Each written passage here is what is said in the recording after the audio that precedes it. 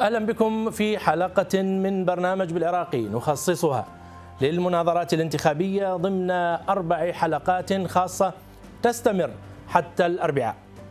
نستضيف اليوم أربعة ممثلين من أربع كتل مرشحة للبرلمان.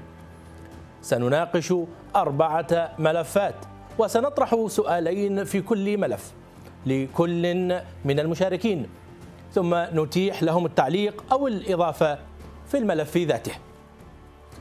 الوقت المخصص للرد على كل سؤال هو دقيقتان فقط لكل مشارك. قبل نهاية الدقيقتين بخمس عشرة ثانية ستستمعون إلى صافرات العد التنازلي للتنبيه بقرب انتهاء وقتكم للحديث. سنغير ترتيب الإجابات حين ننتقل من ملف إلى ملف آخر. دوري في المناظرة هو طرح الأسئلة وفرض الالتزام بالوقت لإعطاء فرص متساوية للجميع. لذا فأنا أشكر ضيوفي مقدما على التزامهم بالوقت المخصص. ملفات المناظرة اليوم ستكون أولا الأمن والنزوح. ثانيا الاقتصاد والفساد. ثالثا الصحة والخدمات. وأخيرا الشباب وحقوق الإنسان. أرحب بضيوفي اليوم السيدة ريزان شيخ دلير عضو الاتحاد الوطني الكردستاني. السيد سعد اللامي عضو كتلة النصر وتحالف قوى الدولة الوطنية. السيد أبو ميثاق المساري القيادي في كتلة الفتح منظمة بدر. والسيد نبيل محمد سليم القيادي في كتلة متحدون. نبدأ بملف الأمن والنزوح. وسؤالنا الأول. إذا وصلت كتلتكم إلى الحكم كيف ستتمكنون من القضاء على الإرهاب والحد من السلاح المنفلت ونشاط الميليشيات لإعادة الأمن وحماية المواطن؟ السيدة ريزان شخدلير معك دقيقتان.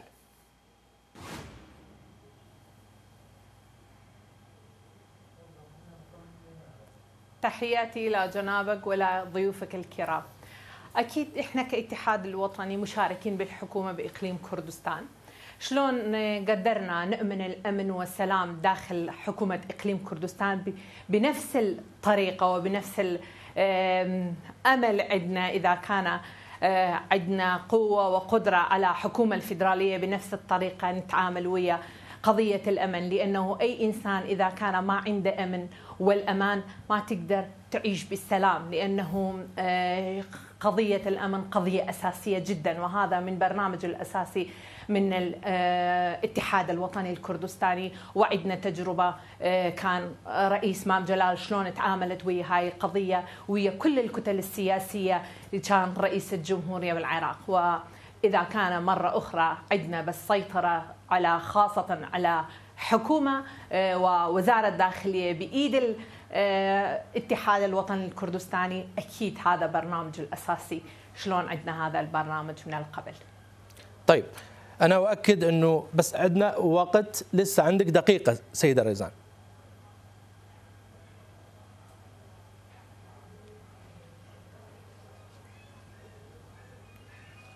أكيد يعني ما دام عندي دقيقة هذا شيء ضروري جدا لأنه نعرف يعني كل الكتل السياسية مع كل احترامي أغلب الكتل داخل الدولة العراقية.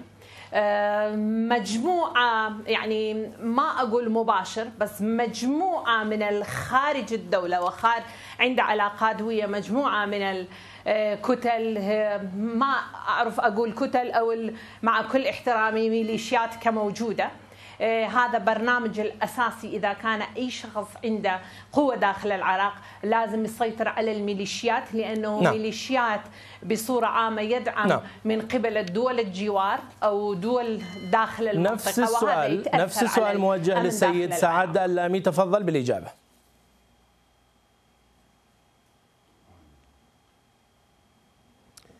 تحية لك أستاذ علي ولضيوفك المحترمين. الحقيقة لدينا تجربة ناجحة في أعوام 14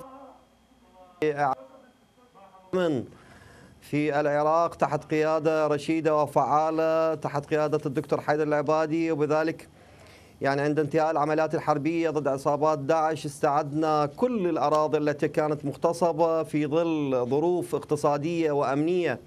وحتى اجتماعية وسياسية غير مطمئنة. كل الأمور الحقيقة والظروف كانت تحيط بالعراق كانت تشير إلى أن العراق ممكن أن يستعيد أراضيه التي احتلها داعش وإعلان دولة الخلافة. في حينها ربما احتاج العراق إلى أكثر من عشر سنين لإعادة أراضيه وإعادة الاطمئنان لدولته وشعبه وأعدنا هيبة الدولة وفتحنا العلاقات.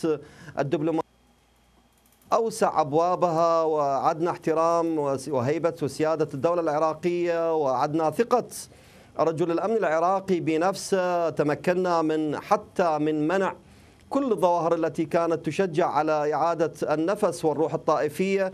وسلمنا مقاليد تجربتنا الناجحة إلى الحكومة التي استلمت من الدكتور حيدر العبادي دولة مؤهلة لأن تقود نفسها بشكل جيد. ممكن أن تمضي في تجربة ناجحة جديدة ولكن حقيقة الإخفاق الذي حصل في السنتين الماضيتين ربما أعاد القلق من ناحية الملف الأمني وبالإضافة إلى أن كل النازحين يعني إعادة برمجة جدولة إعادة كل النازحين إلى قراهم ومدنهم وحصل بالفعل ذلك. تم إعادة كثير من النازحين من المدن والتي والمناطق التي احتلها يعني داعش تمكنا من إعادتهم بعد تأهيل البنى التحتية والتي لم نتمكن من تأهيل بناها التحتية بسبب الوقت سلمناها إلى الحكومة التي لحقت بنا أو تلتنا لا زال لديك وقت. 15 ثانية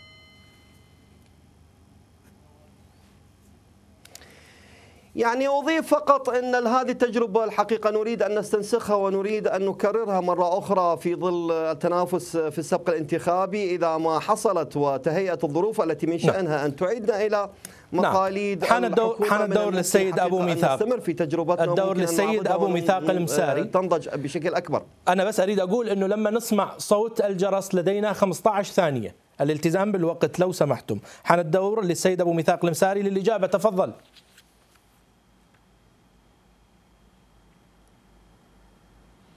نعم شكرا جزيلا لحضرتك أستاذ علي وتحية للأخوة كادر قناة الحرة وللساده الضيوف ولمشاهديكم في كل مكان.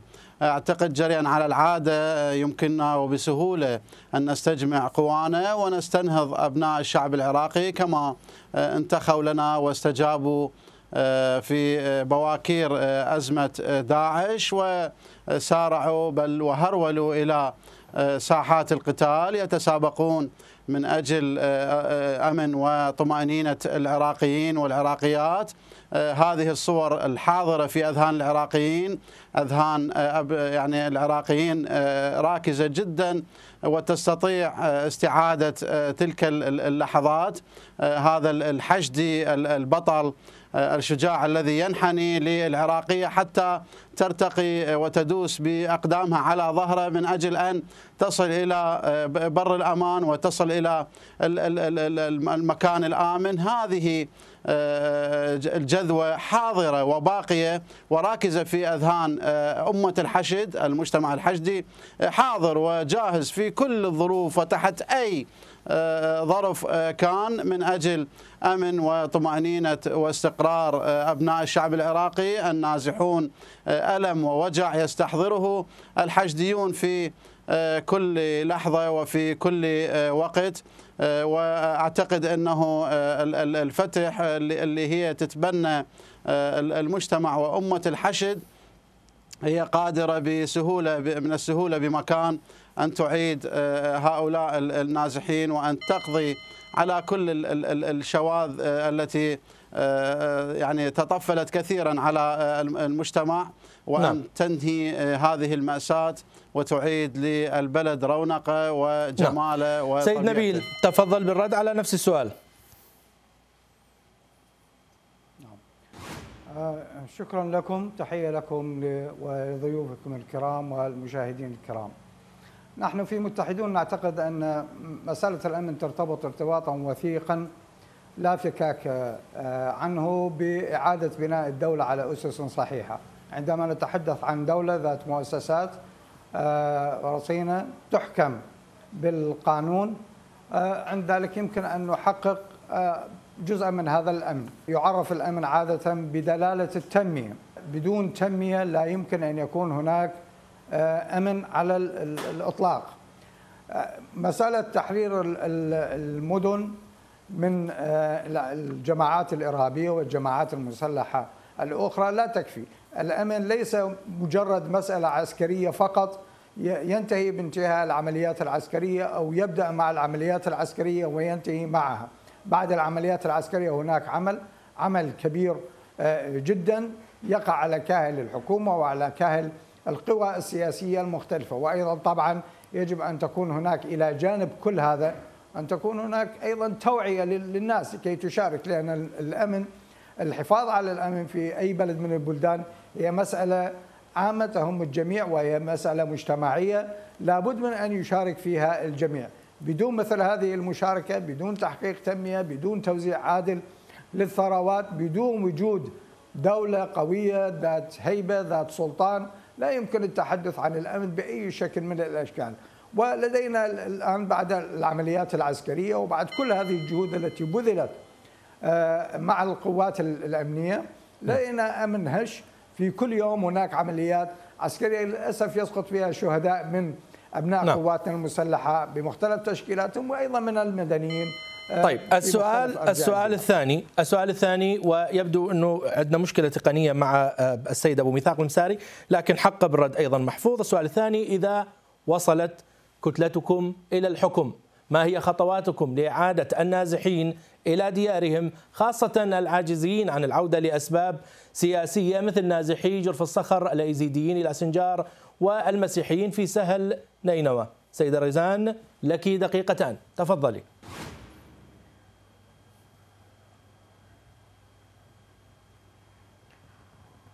طبعا هذه ملف ملف أساسي لأنه كل عنده علم بإقليم كردستان مو فقط نازحين إحنا عندنا مهاجرين.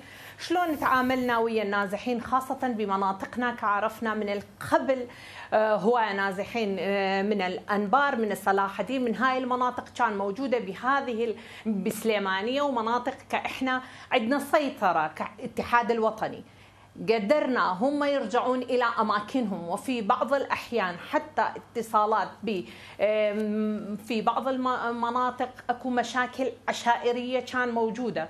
قدروا الاتحاد الوطني وحتى ويا اتفاق ويا المحافظين بطريقة حتى هم رجعوا إلى أماكنهم، أما مشكلة كبيرة هسه موجودة إحنا نعرف مشاكل السياسية كموجودة بين الأحزاب أو الكتل السياسية، إحنا كاتحاد الوطني لحد هسه ما عندنا أي مشاكل سياسية ويا أي كتل، بالعكس اشتغلنا وعملنا من القبل بطريقة قانونية حكومة من يعني داخل الحكومة لازم آه، رجل القانون يتعامل ويا هاي القضية. عندك قوة ما دام عندك قوة داخل قوة آه، قانونية وعندك مكانة لازم بأي طريقة ارجع هذه الأشخاص آه، خاصة النازحين إلى أماكنهم. إحنا نعرف يعني قضية الإزيديين بها مشاكل سياسية بين الأحزاب والكيانات. أما بالآخر إذا حكومة عند السيطرة لازم أقوى من هذه الأحزاب. ومع الأسف أقول بعض الكتل كعدهم علاقات ويا دول الجوار. لازم عراق وهذه القوة السياسية أقوى من دول الجوار حتى ما يقبلون يرجعون إلى أماكنهم. يعني الاتحاد الوطني عند هذه القوة. نعم. سيد سعد اللامي تفضل.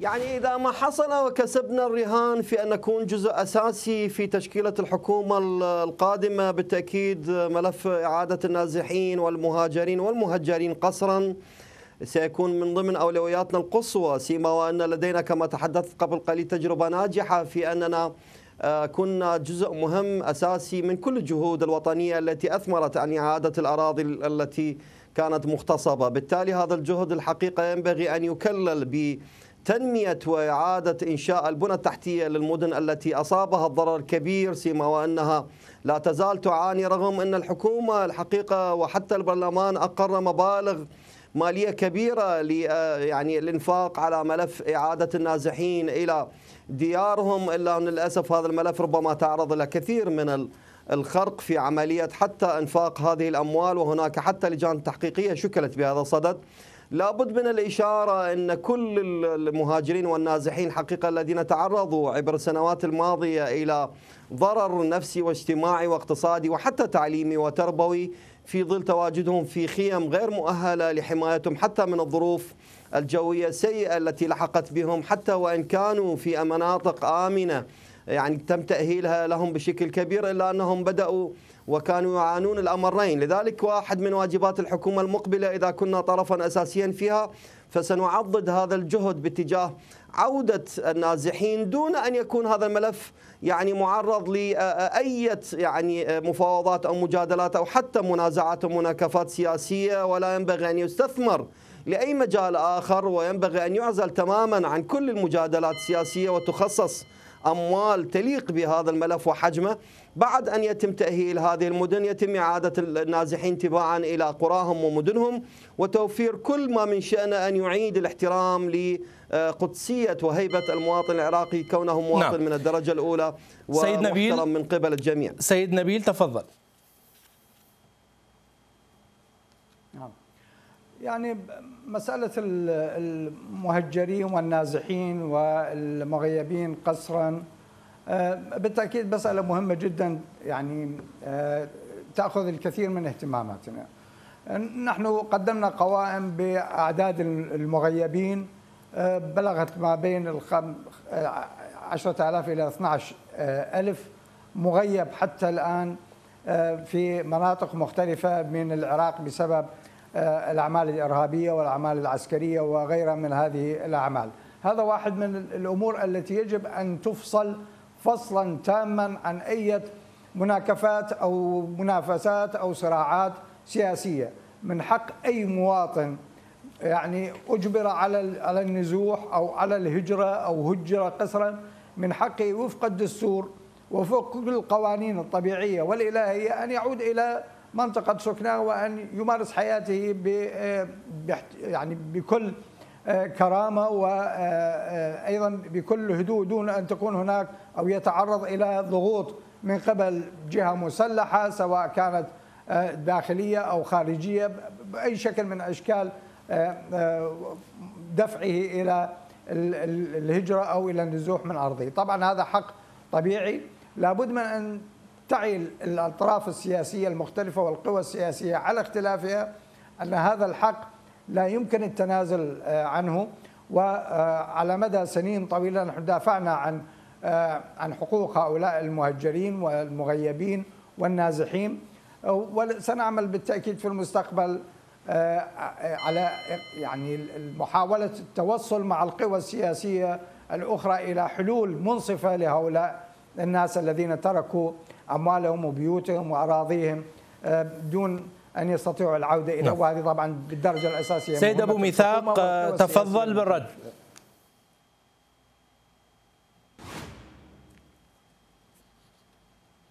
آه، نعم شكرا جزيلا مرة ثانية. آه، أعتقد أن أمامنا ثلاث خطوات لطمأنة آه، وعودة النازحين إلى ديارهم.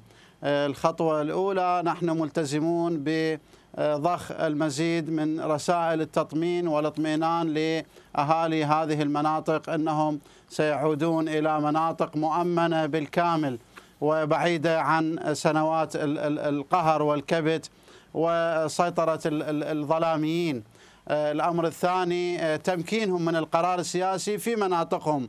يعني أن لا يعود مهمشا هامشيا كما كان في آه، سابق الوقت بل يعود إلى المشاركة آه، في آه، القرار السياسي. الخطوة الثالثة يعني أن نتدخل لتنويع الحقل السياسي في هذه المناطق وأن لا نكون مدفوعين باتجاه خط من الخطوط أو مسمى من المسميات كيان من الكيانات جهة سياسية دون أخرى لا ندعم كأخ أكبر بالعملية السياسية جهة على حساب جهة. لكن ننظر للأخوة الشركاء بنظرة متساوية ونسمح للجميع بأن يقفز إلى واجهة الأحداث وننوع بذلك الحقل السياسي وننتج قيادات ونمد اليد لهم لجذبهم إلى بغداد إلى سدة السلطة ليكونوا شركاء حقيقيين. ليس كما كانوا يشكون وكما كان معتاد أنهم شركاء بالاسم فقط. لا بكل تأكيد نحن ملتزمون بشراكة شراكة أقوياء وممثلين حقيقيين لمناطقهم. نجذبهم إلى هنا لبغداد ونرى ما إذا كانت هذه سوف يعني تلقي بنتائج جيدة ونحن واثقون ومتأكدون من النتائج نعم. الجيدة التي ستنتج عن شكرا للسادة المشاركين في المناظرة الآن لكل منكم دقيقتان إما للتعليق على ما ذكر في معرض الإجابات أو للاستفاضة في البرنامج الانتخابي لكتلتكم تحديدا فيما يخص ملف الأمن والنزوح السيدة ريزان شيخ دلير تفضلي.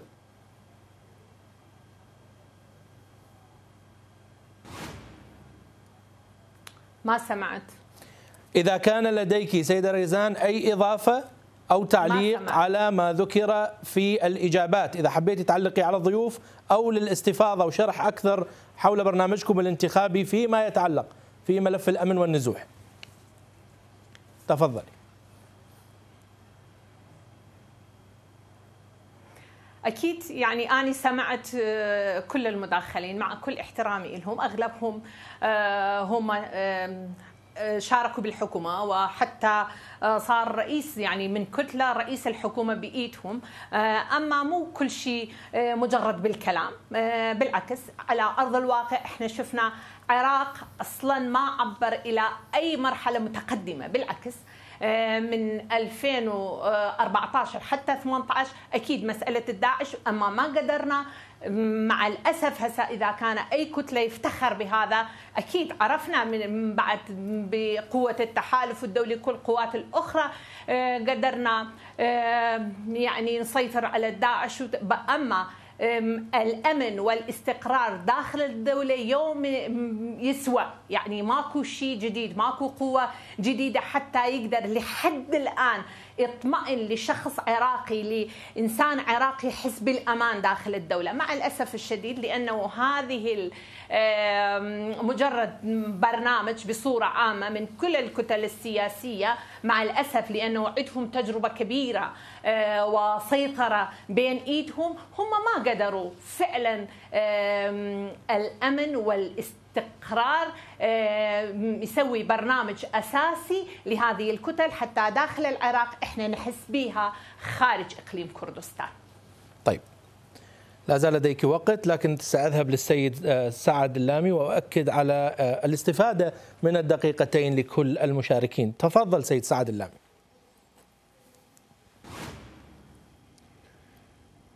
يعني تعليق الحقيقة بصدد ما طرحته السيدة ريزان. الحقيقة هناك تجني واضح على ما بذل من جهود للعراقيين. الحقيقة العراقيين هم من ضحوا بدمائهم ليس هناك فضل ل ما سمته بقوة التحالف حررت الأرض العراقية وعادت الأمن إلى العراق إطلاقا. في حينها الحقيقة الجهود التي بذلت كانت عراقية خالصة قدمت بعض المساعدات في الوقت الذي كان العراق. الحقيقة كل التوقعات كما وصفت لك أستاذ علي قبل قليل تشير إلى أن العراق يحتاج إلى عشر سنوات بما فيهم الإدارة الأمريكية كانت على اتصال مع الدكتور حيدر العبادي في حينها وتحدثت بأن الأمر يحتاج إلى سنوات لتقديم مساعدة العراق لتحرير أراضي. العراق حرر أراضيه بدماء أبنائه بالقوات الأمنية البطلة التي استعادت هيبتها بقوة الحشد الشعبي الذي شارك وساهم بقوة في عملية مناصرة ودعم القوات الأمنية والقتال والتضحية بأبنائه الكل ما قدم هو جهد عراقي خالص. عزز بقيادة حكيمة وبإدارة آه، يعني سياسية وعقلانية احتوت الموقف وكان هناك إجماع وطني وإرادة وطنية حاضرة. الهدف منها هو تحرير الأرض العراقية وترك كل المناكفات والمنازعات السياسية. واستعاد العراق دورة دورة حتى على المستوى الإقليمي والدولي. والدليل إن ما يبنى الآن وما يكمل عمل الآن من قبل حكومة السيد الكاظمي هي ثمرة آه، نتاج زرع ما يعني البذور التي زرعها حكومة السيد العبادي في حينها حين فتح الآفاق الدبلوماسية على مصراعيها مع كل دول العالم بما فيها دول الجوار واستعاد العراق دوره المحوري والمركزي نعم. في آه، على صعيد الشرق الأوسط وحتى على صعيد المجتمع سيد أبو ميثاق المساري دورك تفضل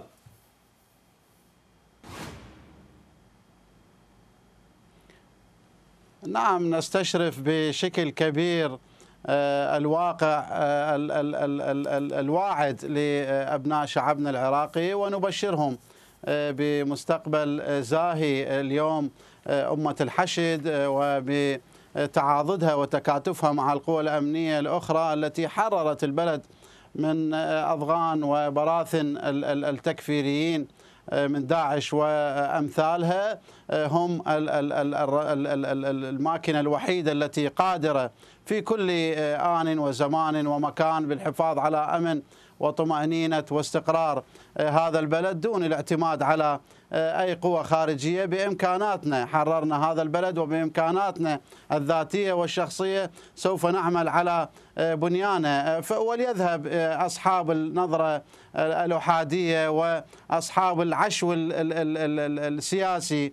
وهذه العين المثقوبة التي ترى من جهة واحدة أدراجها وتبلع لسانها تماما من يتحدث بعدم قدرة الكتل السياسية في بغداد على إنعاش الوضع في العراق. نحن نقول أنه بمجرد سريان هذه العملية السياسية وامتداداتها واستمرارها إلى اليوم هو إنجاز بحد ذاته. هذا بلحاظ نتيجة للكم الهائل من التحديات الذي تعرضت له آه، هذه البقعة المباركة من الأرض لولا آه، الدماء الطاهرة التي سالت على آه، أجنابها. لم نكن اليوم لنجلس هذه الجلسة ونتحدث ونستشرف هذا المستقبل الواعد والزاهر أعتقد أنه المجال الاقتصادي أنا للعراقيين أن يلتفتوا البرلمان القادم بعد 10 10 يعني 2021 سوف يتبنى نعم. إصلاحات اقتصادية ومنها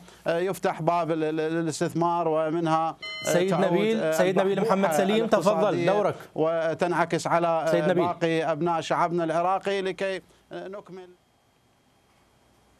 تفضل سيد نبيل نعم. يعني قدر تعلق الأمر بهذا الموضوع نحن في متحدون على قناعة بأنه لا زالت الإرادة السياسية غير مكتملة فيما يتعلق بملف النازحين والمغيبين آه، والمهجرين قصرا. متى ما تكتمل هذه الإرادة السياسية في ضرورة إعادتهم إلى مناطقهم عند ذلك سنشهد مثل هذه العودة. حتى الآن يعني الآن مضى على التحرير ما يقارب الأربع خمس سنوات. حتى الآن هناك أناس يعانون في مخيمات في أوضاع سيئة آه، جدا. آه، دون أن تلتفت الحكومة بالشكل الذي يليق آه، بكرامة المواطن العراقي ودون أن تلتفت إليهم بالشكل الذي يفترض أن تكون عليه أو تقوم به الحكومة على الرغم من وجود مثل هذه الإمكانيات. هذا من جهة. من جهة ثانية نحن مع التحرير طبعا الكل شارك في مسألة التحرير وبذلت دماء عراقية طاهرة من أجل التحرير لكن أيضا هذا التحرير أدى إلى خراب الكثير من المدن.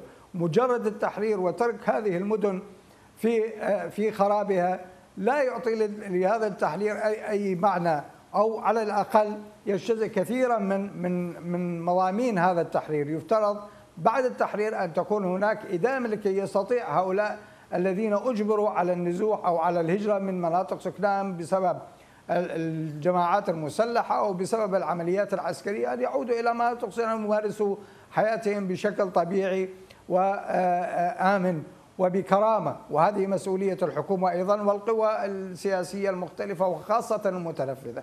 نحن حتى الآن نعتقد أن هذه الإرادة السياسية غير متوفرة وإذا كانت متوفرة فهي بحد أدنى مما أعاق حتى الآن مسألة عودة هؤلاء النازحين والمهجرين إلى مناطق سكنهم نعم.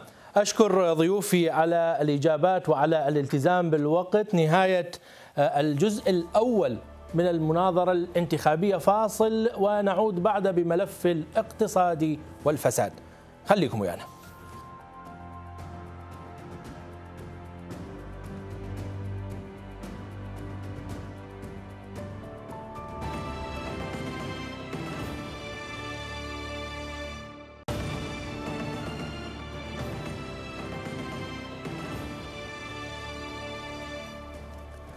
عدنا لكم بالعراقي والمناظرة بين السيد سعد اللامي عضو كتلة النصر وتحالف قوى الدولة الوطنية والسيد أبو ميثاق المساري القيادي في كتلة الفتح والسيد نبيل محمد سليم القيادي في متحدون وسيدة رزان شيخ دلير عضو الاتحاد الوطني الكردستاني حول برامج كتلهم الانتخابية قبيل الانتخابات النيابية الأحد القادم. ملفنا الآن هو الاقتصاد ومكافحة الفساد. وسنغير ترتيب الإجابات بين المتناظرين ضمانا للمساواة. السؤال الأول إذا وصلت كتلتكم إلى الحكم كيف ستعملون على خفض نسب الفقر ومعالجة الأزمات الاقتصادية وتنويع الإيرادات كي لا تقتصر فقط على النفط. السيد نبيل محمد معك دقيقتان تفضل. نعم. طبعا السياسة ترتبط ارتباطا وثيقا بالاقتصاد. لا يمكن الفصل بين الاثنين. والاثنين أيضا يرتبطان بمسألة الفساد. العراق على الأقل من 2003 وحتى الآن وحتى قبلها في مرحلة الحصار فقد الكثير من قدراته على التصنيع الداخلي. صحيح أن العراق ليس بالدولة الصناعية الكبيرة لكن كانت هناك صناعات تغطي جزء كبير جدا من من الحاجة المحلية صناعات وطنية. تبلغ عشرات الآلاف من الشركات الصغيرة العاملة عدا الشركات الأخرى الكبيرة التي كانت تعمل في مجالات آه، أخرى. كل هذه انتهى دورها وللأسف يعني خلال هذه الفترة من 2003 حتى الآن لم تأتي حكومة تعمل بشكل صحيح وفق رؤى اقتصادية مقدمة من مختصين في هذا المجال بالاقتصاد للنهوض باقتصاد البلاد. وأصبح العراق خلال هذه الفترة الآن بلد مستهلك غير قادر على تصدير شيء باستثناء النفط والاستمرار في كونه دولة ريعية لا أكثر ولا أقل.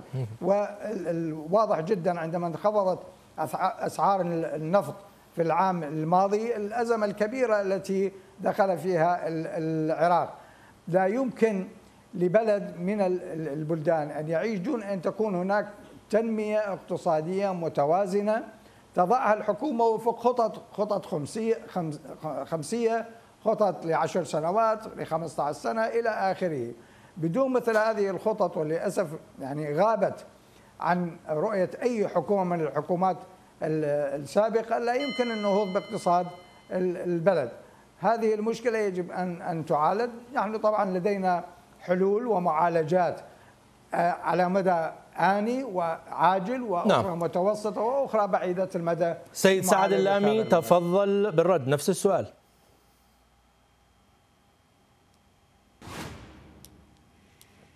أستاذ علي الحقيقة لا يجب الجمع بين الفترات الزمنية منذ عام 2003 وينبغي أن نتحدث يعني بنوع من الإنصاف في عملية الحديث عن الواقع الاقتصادي الذي مر به العراق. يعني منذ عام 2003 في حالة الجمع إلى الآن يعني ينبغي أن يعني نعزل أو نكون بمعزل أن الفترة التي خاضها العراق الفترة العصيبة التي مرت على العراق الأربع سنوات بين عامي 14 18 كانت فترة مكرسة تماما للجهد العسكري في عمليات العمليات العسكرية لاستعادة الأراضي المغتصبة وكان هناك إنفاق يومي بمعدل 4 مليون دولار لكل يوم من العمليات العسكرية. أتحدث هذا فقط لكي أصل إلى ما أريد أن أشير إليه. الاقتصاد العراقي الحقيقة يعاني الأمرين جراء الاعتماد على الاقتصاد الريعي دون الذهاب إلى الاقتصاد المتعدد الأنواع. واحدة من أفكارنا الرئيسية التي نريد أن نطبقها على أرض الواقع حين آه، نكون يعني في تشكيلة في التشكيلة الحكومية القادمة هو الذهاب إلى يعني إنعاش عملية فتح المصانع والشركات الإنتاجية التي كان العراق يفتخر بأنه آه، يحتوي على كثير من المصانع والشركات الإنتاجية التي تنافس الإنتاج حتى الشرق الأوسطي وحتى العالمي منها. وبالتالي ممكن هذه الشركات والمصانع تعيد لك آه، تشغيل آه، يعني ملايين الأيادي العاملة التي تبحث عن فرصة عمل وإصرارها على أن تكون ضمن يعني الوظيفة الحكومية.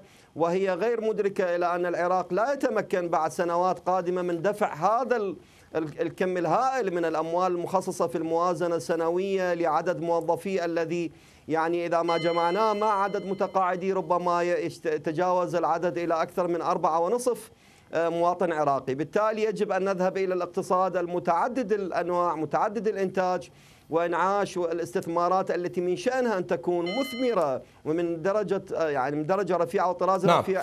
سيد أبو ميثاق. مجاملة ودون حساب لاي سيد أبو ميثاق تفضل.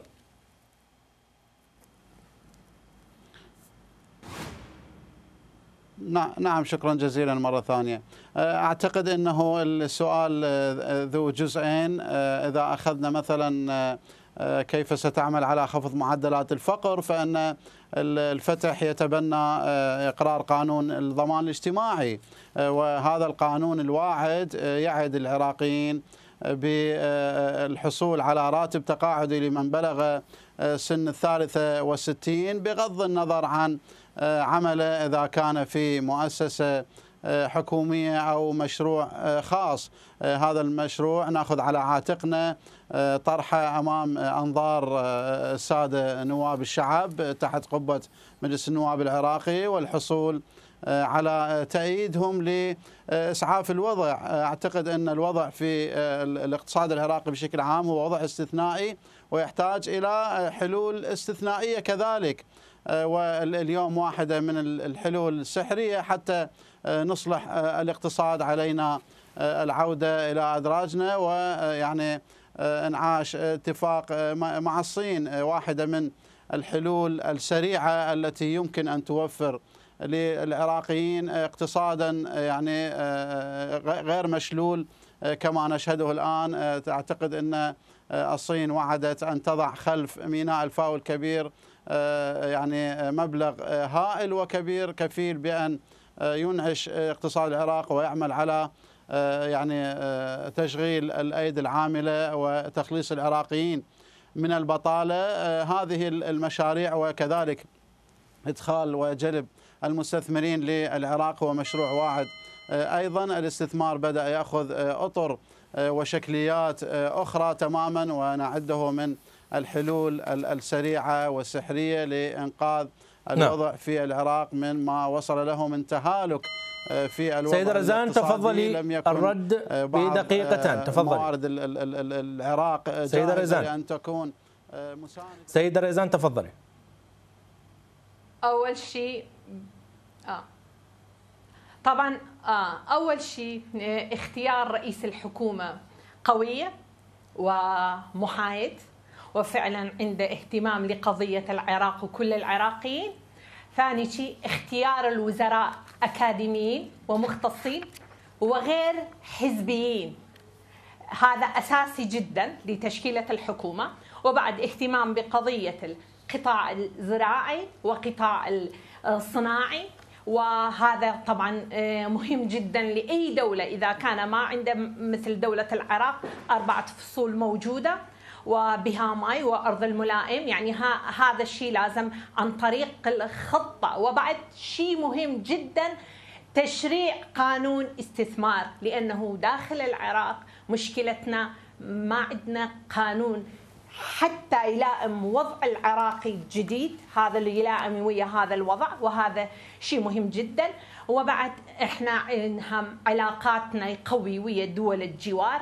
خاصة إحنا عندنا مشكلة الماي اللي حد هسه ومع العلم أكو اتفاقيات دولية موجودة للثروات مثل الماء آه، إيران وتركيا هاي دولتين هسه هم عندهم مشكلة لقطع الماء للعراق.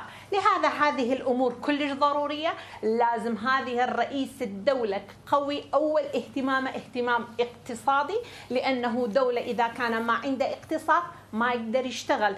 مثل هسه اقتصادنا كله معتمد على النفط وإحنا متعودين آه، دائما آه، نفقاتنا أكثر من إيراداتنا لأنه أساسا إيرادات ضعيفة فقط نعتمد نعم. على مع الأسف أقول إحنا نعتمد فقط على إيرادات المنافذ الحدودية وإيرادات النفطية. السؤال الثاني إذا وصلت كتلتكم إلى الحكم كيف ستحاربون الفساد لاستعادة ثقة المواطن العراقي ومنع تهريب الأموال التي قدرها الرئيس برهم صالح ب 150 مليار دولار منذ عام 2003 السيد نبيل محمد معك دقيقتان تفضل. الفساد آفة آفة كبيرة جدا لا تقل خطورة عن الإرهاب لا بل نحن نعتقد أنها آه، الأساس الذي ولد الإرهاب في كل المناطق. العراق. لمعالجة آه، آفة الفساد هذه التي استشرت في آه، مختلف مرافق الدولة بشكل خطير وخطير جدا وأكرت الكثير من جهود وقدرات وأموال البلاد والمواطنين. يجب أن تفعل القوانين أولا. يجب أن يكون هناك حماية لمن ينفذ هذه القانون من يصدر الأوامر وتكون هناك محاسبة محاسبة للكل حتى على مجرد الشكوك يجب أن تتأكد من فيما إذا كانت هذه الشكوك فعلا صحيحة أو غير وهذه الكلمة ينطق بها القضاء وعلى يفترض أن يكون هذا القضاء قضاء آه، مستقلا وقادرا على أن آه، آه، يطبق الأحكام التي تصدر عنه طبعا بمساعدة المؤسسات الدولة الأخرى. أيضا يجب أن تكون هناك ثقافة لدى مختلف هذه القوى السياسية يعني حقيقة أن الشارع العراقي يتهم القوى السياسية بالفساد وبدعم هذا الفساد وب يعني جعل هذا الفساد هو العنوان الأكبر للعملية التي تقوم بها في في إطار العملية السياسية. إذا إذا كانت هذه القوى لم تتحرك ل آه، على الأقل مساءلة الفاسدين في آه، في صفوفها وتشجيع عمل القضاء فعندك المسألة ستكون مجرد شعارات. وإحنا نسمع شعارات معاداه الفساد مكافحة الفساد محاربة الفساد لكنها نعم. مجرد شعارات. و يعني السيد سعد اللامي تفضل بالرد. سيد سعد. الاخرين هم المسؤولين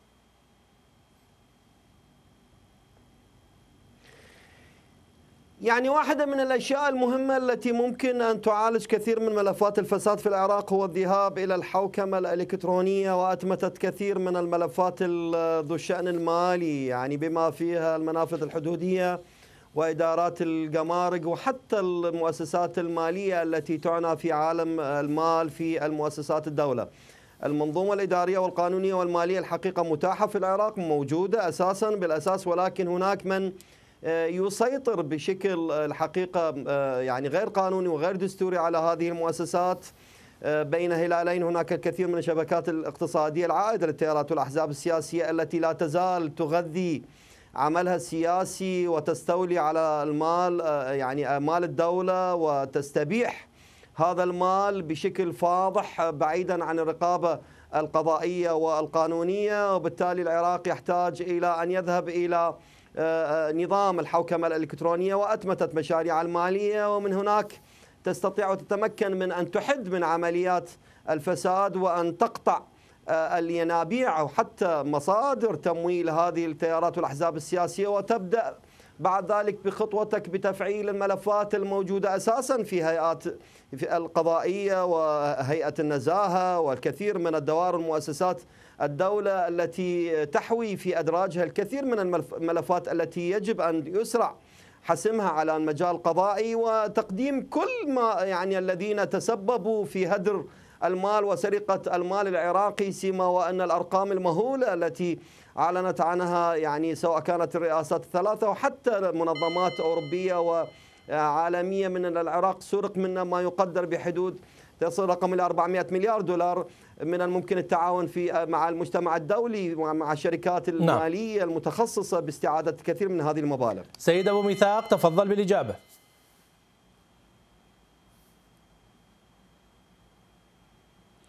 آه، نعم في آه، إحدى اللقاءات التي جمعت الأستاذ زعيم تحالف الفتح الحاج العامري بالأخوة في ديوان الرقابه المالية طالب آه، زعيم تحالف الفتح. الأخوة في ديوان الرقابة بأن يبدأوا بوزراء بدر ونواب بدر قبل أن يحاسبوا الآخرين. قال ابدأوا بتقرير الذمم المالية لكل وزرائنا ونوابنا وكل قياداتنا إن لم تكونوا قادرين على أن تبدأوا من سين من المكونات أو سين أو صاد من الجهات السياسية. فلكم أمامكم بدر آه، فابدأوا بهم آه، أولا حتى يعني ممكن أنه آه، تمشون بهذه الإجراءات. أنا أعني تماما أنه بهذه المصداقية وبهذه الشفافية وبهذه الأريحية يمكننا أن نحارب الفساد ونستعيد آه، ثقة جمهورنا بالعملية السياسية وبرموزها آه، بالمصارحة آه، والمكاشفة ويعني ندانا لكل جماهيرنا وأبناء شعبنا أنه لا نستمع إلى الإعلام الأصفر وقنوات الشر التي لطالما أضفت نوع من السوداوية والظلامية على يعني هولت وعظمت وكبرت من حجم الفساد الإداري آه، والمالي في العراق. ندعو الجميع إلى أن يكونوا آه، يراقبوا الأخبار من منشأها الحقيقي ولا يركنوا إلى أعداء العراق والماكنة الإعلامية الكبيرة التي آه، ضخمت من هذه الأخطار من أخطار الفساد. نحن لا ننكر وجود الفساد بكل تأكيد لكنه ندعو دائما إلى التعقل حتى في يعني إطلاق التصريحات. اليوم نجد أنواع هناك فاسد لكنه هناك مشيع للفساد. ونعتقد نعم. ومؤمنين تماما إن مشيع الفساد هو أخطر من الفاسد نفسه. سيدة ريزان شيخ دلير تفضلي لديك دقيقتان ولنعمل بشفافية وبأريحية. أكيد أول شيء مرة أخرى أني أتكرر محتاجين إلى آه، رئيس مجلس النواب قوي. حتى ما ما يستغل المكانة آه، لجمع الفلوس ويشتري الناس. ومع الأسف أقول يعني إحنا محتاجين إلى آه، هيك رئيس مجلس النواب القوي. وذمة مالية كلش أساسي لكل النواب أو الوزراء بس. هاي ذمة مالية مو مجرد ورقة ويوصل إلى أماكن. ذمة مالية حقيقية شقد عنده خلال هاي أربع سنوات كموجودة. شقت حصلت داخل مجلس النواب أو الوزراء. وهم مرة أخرى أتكرر الوزراء المستقلين. واهم شيء آخر آه، تف... مو تفعيل تشريع قانون لإدعاء الام مرة الأخرى. لأنه إذا كان فعلا عندنا إدعاء الام القوي هو عندهم دور في كل الملف الفساد قبل يوصل إلى أي مكان الآخر. حتى إحنا ما محتاجين إلى هيئة النزاهة ومحاكم النزاهة. أساسا إحنا محتاجين إلى آه، ادعاء العام القوي. حتى عن طريقها هم أي ملف فساد موجود آه، آه، هم يشتغلون عليها. بصورة عامة هاي الأحزاب السياسية كهسه موجودين. مع الأسف هم عملهم عن طريق الفساد عن يعني عن طريق وزرائهم يتداخلون داخل الوزارات. أما إذا كان فعلا وزراء مستقلين هذا الوقت ولا حزب سياسي يقدر يستغل هذا المكانه والشيء آخر كلش مهم محكمة الاتحادية المستقلة. فعلا هسه إحنا عندنا ولا حزب سياسي يقدر يتدخل بشؤون وبقرارات وبتأثير على نعم. قرارات المحاكم الاتحادية ومحاكم شكرا للسادة المشاركين في المناظرة الآن. لكل منكم دقيقتان إما للتعليق على ما ذكر في معرض الإجابات أو للاستفاضة في البرنامج الانتخابي لكتلتكم تحديدا. فيما يخص ملف الاقتصاد ومكافحة الفساد. السيد نبيل تفضل دقيقتان.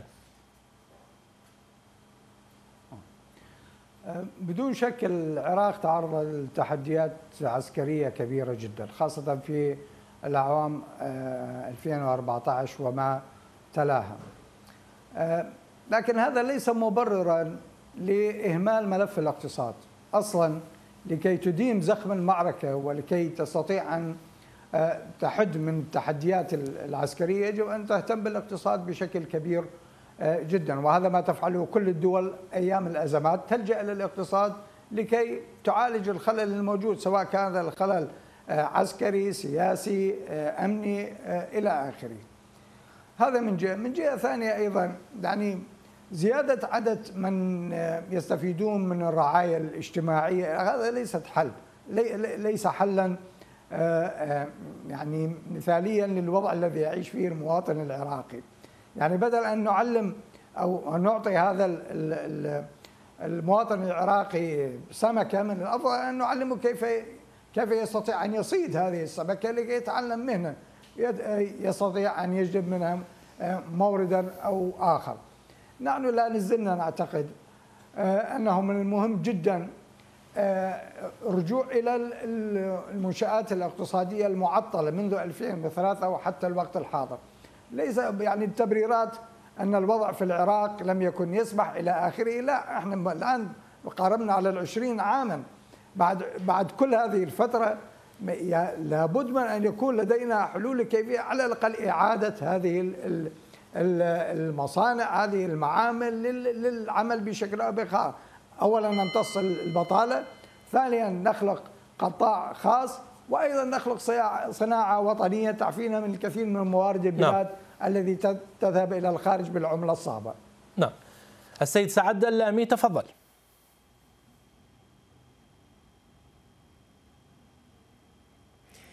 يعني واحدة من الحلول التي قمنا ب يعني آه، على أقل تقدير بوضعها بشكل عاجل في فترة أعوام 14 18 أثناء تولي الدكتور العبادي لدورته في رئاسة الوزراء كانت هي يعني حصر وتقليص الإنفاق الحكومي. هذا الحقيقة واحد من الملفات المهمة حين ألغى آه، نواب رئاسة رئاسة الجمهورية ونواب رئاسة الوزراء.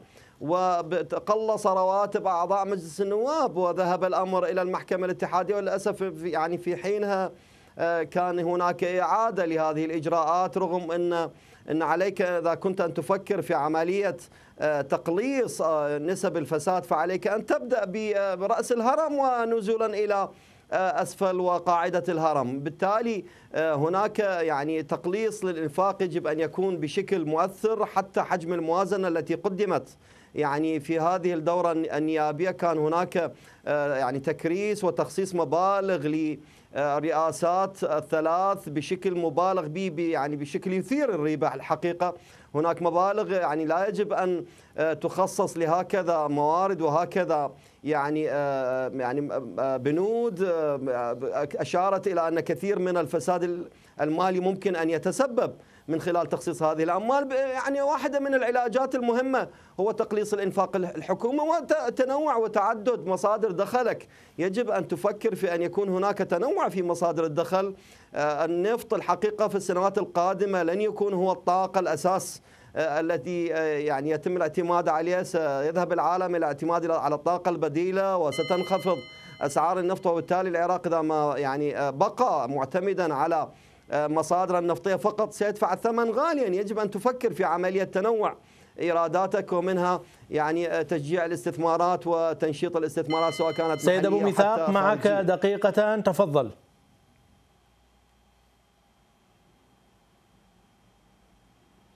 آه، نعم بكل تأكيد لناسنا وجمهورنا لمجتمعنا الفقير. نحن معنيين جدا بأمة الحشد وهو مجتمع فقير. آه، أقول لهم لا آه، يعني آه، تكونوا كالذي يبحث عن القشة في كوم الشعير بل أرجعوا إلى الخلف قليلا إذا أردت أن تكتشف الفاسد وتحاربه فاعرف من هو الفاسد وأعرف من هو الواقف بالضد من هؤلاء الفاسدين انظر إلى من التحف السماء في الجبهات توسد قمصلته ترك كل الملذات ترك الوزارة وترك المناصب وذهب آه، لينام في على على على التراب مباشرة.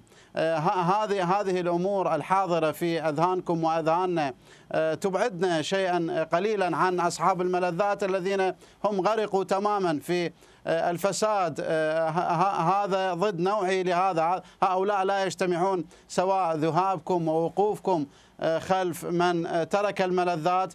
هو بحد ذاته محاربة للفساد والفاسدين قفوا آه، وراء من آه، ترك الملذات ووقف في الجبهات وبذل الغالي آه، والنفيس وترك كل شيء من أجلكم ومن أجل أمنكم واطمئنانكم واستقراركم ورفاهيتكم. ويعمل اليوم وسوف يعمل غدا على استعادة العراق لوضعه الطبيعي الاقتصادي ولاستعادة بحبوحة العيش التي لطالما تنعمتم بها على أرض هذا البلد الوافر الخيرات المتعدد الثروات والذي تفيض من جنباته الخيرات بأنواعها اموالا. وممتلكات. نعم. أعتقد أنكم اليوم مدعوون نعم. للعودة إلى انتهى الوقت سيد ابو أبو ميثاق. أنا بس احب لكي أحب يعني أكد على أنه السؤال المخصص للتعليق هو نفضل ونريد أن يكون التعليق داخل الملف المعني. سيدة رزان لك دقيقتان. تفضلي.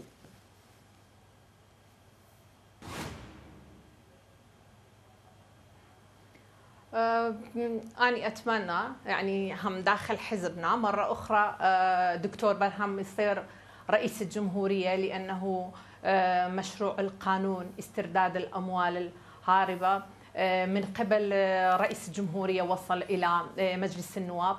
هاي المرحلة الجديدة بالكابينة الجديدة. إحنا نقدر داخل مجلس النواب نشرع هذا القانون. و مع الأسف يعني يعني أقول احزاب السياسية هسه إحنا كلنا نحكي من الحزب السياسي وعدنا دور كبير بهذا الفساد. يعني لازم أول شيء نبدي آه، إلنا أي حزب سياسي يبدي من حزبه. فعلا هو مهتم بهذه القضية فعلا العراق آه، بها فساد كامل. وأي أي حزب سياسي مشاركة بهذه الفساد. من داخل الحكومة أو برا الحكومة. لهذا لازم آه اني أقول لكل واحد من زملائي هسه كموجود هنا آه لازم إحنا نبدي من أنفسنا. آه إحنا بإقليم كردستان كان من قبل نائب رئيس الحكومة. نظام البايومتري كأول شيء إحنا قدرنا داخل إقليم كردستان نبدي بهذه الطريقة حتى أي شخص عنده مزدوج الرواتب. قدرنا بهذه الطريقة إذا نوصل إلى حكم داخل الحكومة الفيدرالية بنفس الطريقة وهذه الطريقة الأساسية إحنا نريد نشتغل.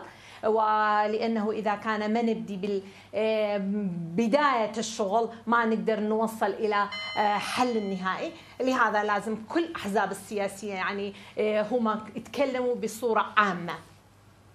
شكرا للإجابات والالتزام بالوقت. نهاية الجزء الثاني من المناظرة الانتخابية. فاصل نعود بعد وملف الصحة والخدمات. خليكم ويانا.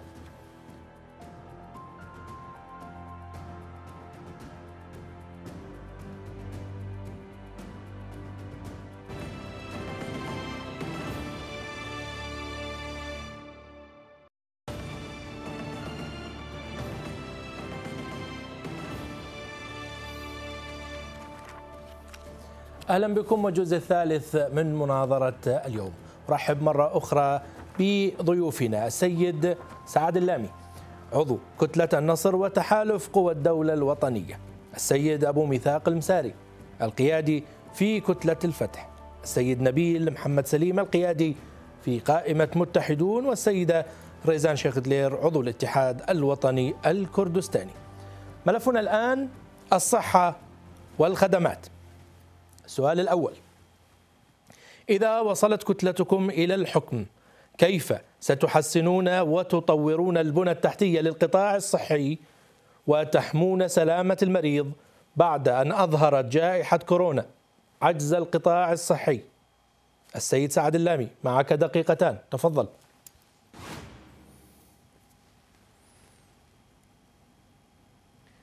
يعني واحدة من الأشياء المهمة الحقيقة التي يجب التركيز عليها في الحكومة القادمة هو إعادة النظر في كل القطاع الصحي في العراق. هناك يعني سوء خدمة مقدمة هناك بنية تحتية صحية غير صالحة الحقيقة في كثير من مستشفيات العراق لتقديم الخدمة الصحية للمواطنين. عانينا في هذا الموضوع كثيرا في ظل جائحة كورونا وانكشفت لدينا كثير من السلبيات التي كانت الحقيقة يتم إخفاءها أو حتى التغطية عليها بشكل أو بآخر. سوء الأداء يعني لوزارة الصحة يعني على مدى السنتين على أقل تقدير الماضيتين بالإضافة إلى تردي الواقع الصحي لكل السنوات السابقة ألقى بظلالة على الواقع الصحي الآن الموجود في العراق. لا توجد هناك مستشفيات تقدم خدمة طوارئ على مدار الساعة متاحة ومتوفرة في العراق. يعني أتحدث مثلا على سبيل المثال في بغداد لا يوجد إلا مستشفى واحد يقدم الخدمة الطارئة العاجلة للمواطنين وهذا بالتأكيد عندما تذهب إلى تشاهد أن هناك ضغطا صحيا لا يمكن لهذا المستشفى أن يقدم بشكل آه، منفرد أو لوحده. يجب أن تكون هناك يعني آه، مستشفيات متعددة بناء المستشفيات آه، على الطراز المثالي الذي يحوي كل الخدمات التي من شأنها أن تكون حاضرة في تقديم خدمتها الصحية هي من الأولويات القصوى في عملية لأي ملف يعنى بهذا الاتجاه. آه، يجب الذهاب إلى استيراد المكائن والآلات والأجهزة الصحية والطبية والفحوصات اللائقة التي تليق بأن تكون ذو آه، يعني آه، طراز متقدم في مجال الخدمة الصحية للمواطن العراقي وهذا واحدة من نعم. الأساسيات التي يجب أن تعمل عليها أي حكومة قادمة في أن تكون هناك أجهزة حديثة متوفرة في المستشفيات نفس السؤال العراقية. نفس السؤال موجه إلى السيد أبو ميثاق المساري تفضل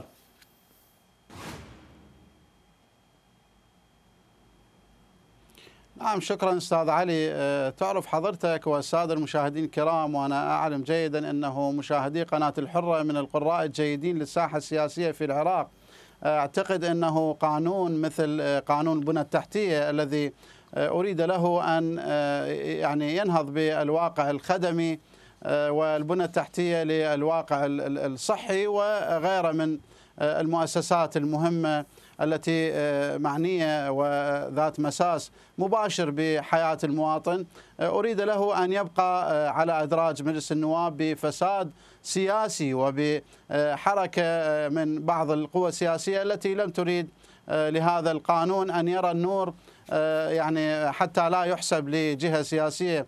دون أخرى أعتقد العودة إلى مثل هكذا قوانين كفيلة بأن تنعش. واقع البنى التحتية لوزارة الصحة وكذلك الوزارات آه، الباقية آه، يعني نستشعر دائما الحاجة إلى مراجعة الذات وتجاوز الأخطاء الكبيرة التي ارتكبت. هي جنايات سياسية. إذا صح التعبير ارتكبها بعض الساسة يعني ضربا تحت الحزام لكتل سياسية وعناوين سياسية بعينها. لم يرتئ الآخر أن يرى قانون البنى التحتية حتى تبنى عشرات المستشفيات وتلحق بالمستشفيات العاملة حتى تكون بنى تحتية كبيرة تسند عمل الجيش الأبيض. آه، ليس لشيء ليس لنقص الموارد المالية مثلا ولا لنقص الكفاءات ولا لضعف الخطط أو عدم وجود آه، تخطيط آه، خمسي أو غيره. لكن هو كان فساد سياسي بامتياز نعم. وضربا نعم. تحت شكرا شكرا لك سيد بعينها نعم. شكرا لك سياسيه بعينها شكرا لك أبو ميثاق الآن دور السيده ريزان للإجابة تفضلي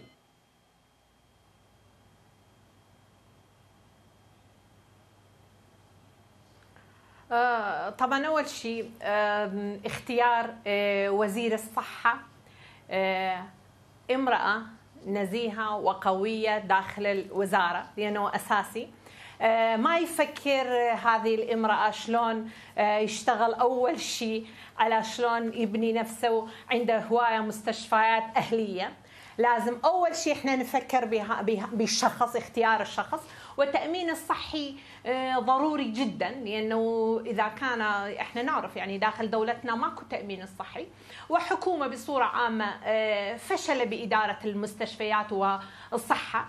بهذا الوقت لازم إحنا نفكر آه، الصحة ويا الشركات تشتغل أما هذا التأمين الصحي لصالح الفرد العراقي.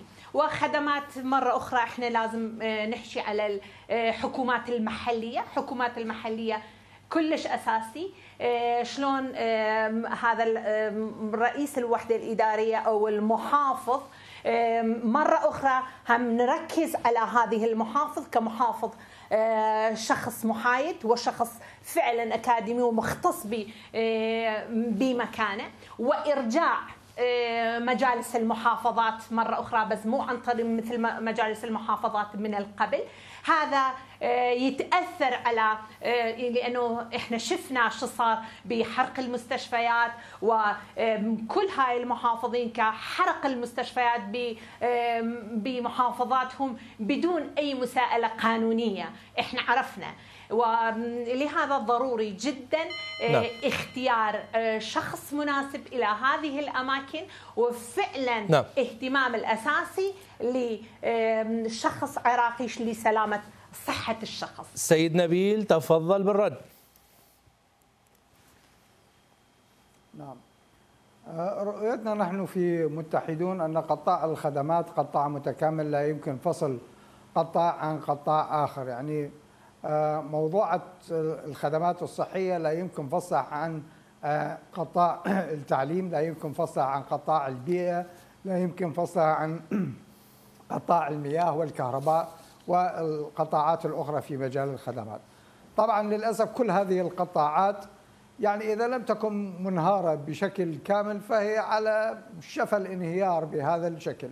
ربما الأكثر وضوحا الآن هو في القطاع الصحي بسبب آه، جائحة كورونا التي اجتاحت البلاد كما اجتاحت بقية بلدان العالم وكشفت العجز الكبير في هذا القطاع ال- آه، الصحي الذي يفترض أن تكون هناك معالجة آه، ومعالجة حقيقية لهذا القطاع وليست معالجة شكلية لا تمس ال- الجوهر.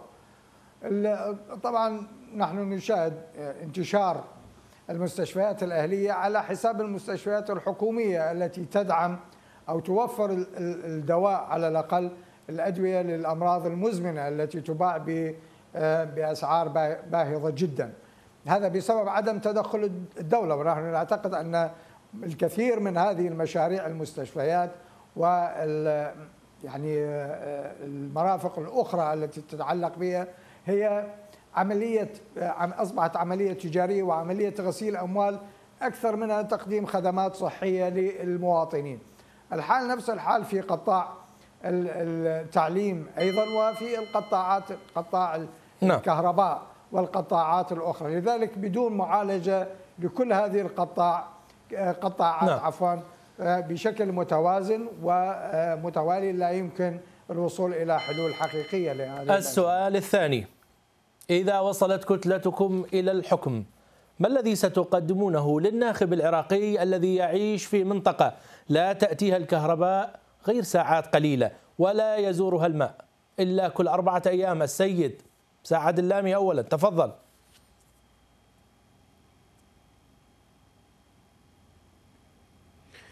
يعني أستاذ علي هذا الموضوع الحقيقة لا يعنى بمحل سكنية أو منطقة سكنية دون أخرى. العراق الحقيقة يعاني بكل محافظاته من أزمة حادة في مجال الطاقة الكهربائية وكان محل اهتمام شديد حق- حقيقة في آه، حقبة آه، يعني 14 18 وبدأنا بالفعل في آه، يعني الشروع في التعاقد مع شركة سيمنز الألمانية باتجاه تطوير محطات العراق الكهربائية ونصب ويعني آه، إنشاء محطات كهربائية جديدة.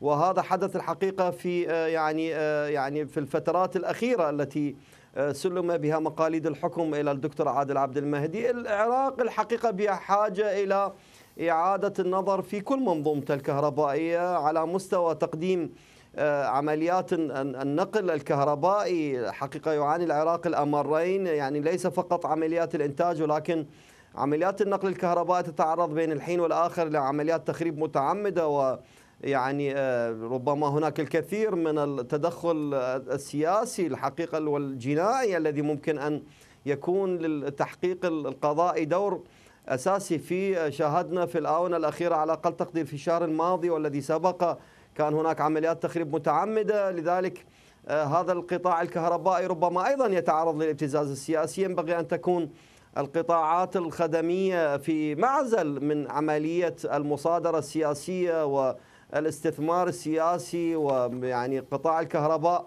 آه، يدر آه، يعني أموال يبدو كبيرة على من استثمر في هذا الاتجاه. واستنزفت أموال ضخمة خصصت أموال ضخمة ضمن الموازنات يعني آه، للسنوات آه، في العراق ولم تستثمر بشكل نعم. جيد لعملية يعني انعاش أو حتى يعني تحسين مجال الخدمة في الطاقة الكهربائية في العراق. سيد أبو ميثاق تفضل. آه،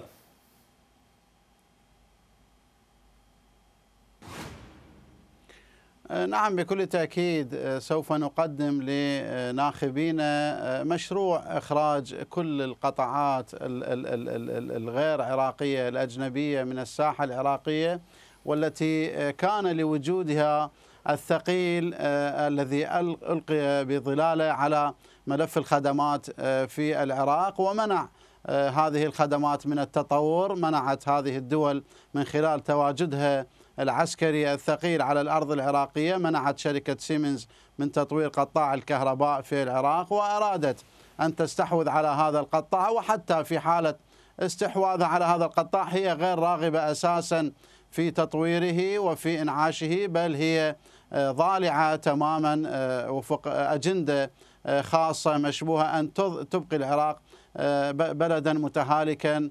من حيث قطاع الطاقة والخدمات وسئمنا كثيرا من الطلب لدى هذه الدول ولدى هذه الجهات بمحاولة آه، إصلاح هذا القطاع. نعتقد أنه الحل في إخراج إخراجهم من الساحة العراقية تماما بالخلاص من قطاعاتهم العسكرية الجاثمة على صدور العراقيين. أولا آه، بتفعيل قانون مجلس النواب العراقي أقر آه، قبل آه، فترة وبعد ذلك يمكن لكل الجهود آه، الساعية ل الخدمات والكهرباء في مقدمتها من دول الجوار الصديقة والتي انتخت في لحظات مصيرية وأبدت مساعدة للعراق. ليست بقليلة ممكنها أن تعود ثانية لتقديم هذه المساعدة وإنعاش قطاع الكهرباء. كذلك آه، يعني التنين نعم. الصيني آه، آت لا محالة رغم كل نعم. العوارض التي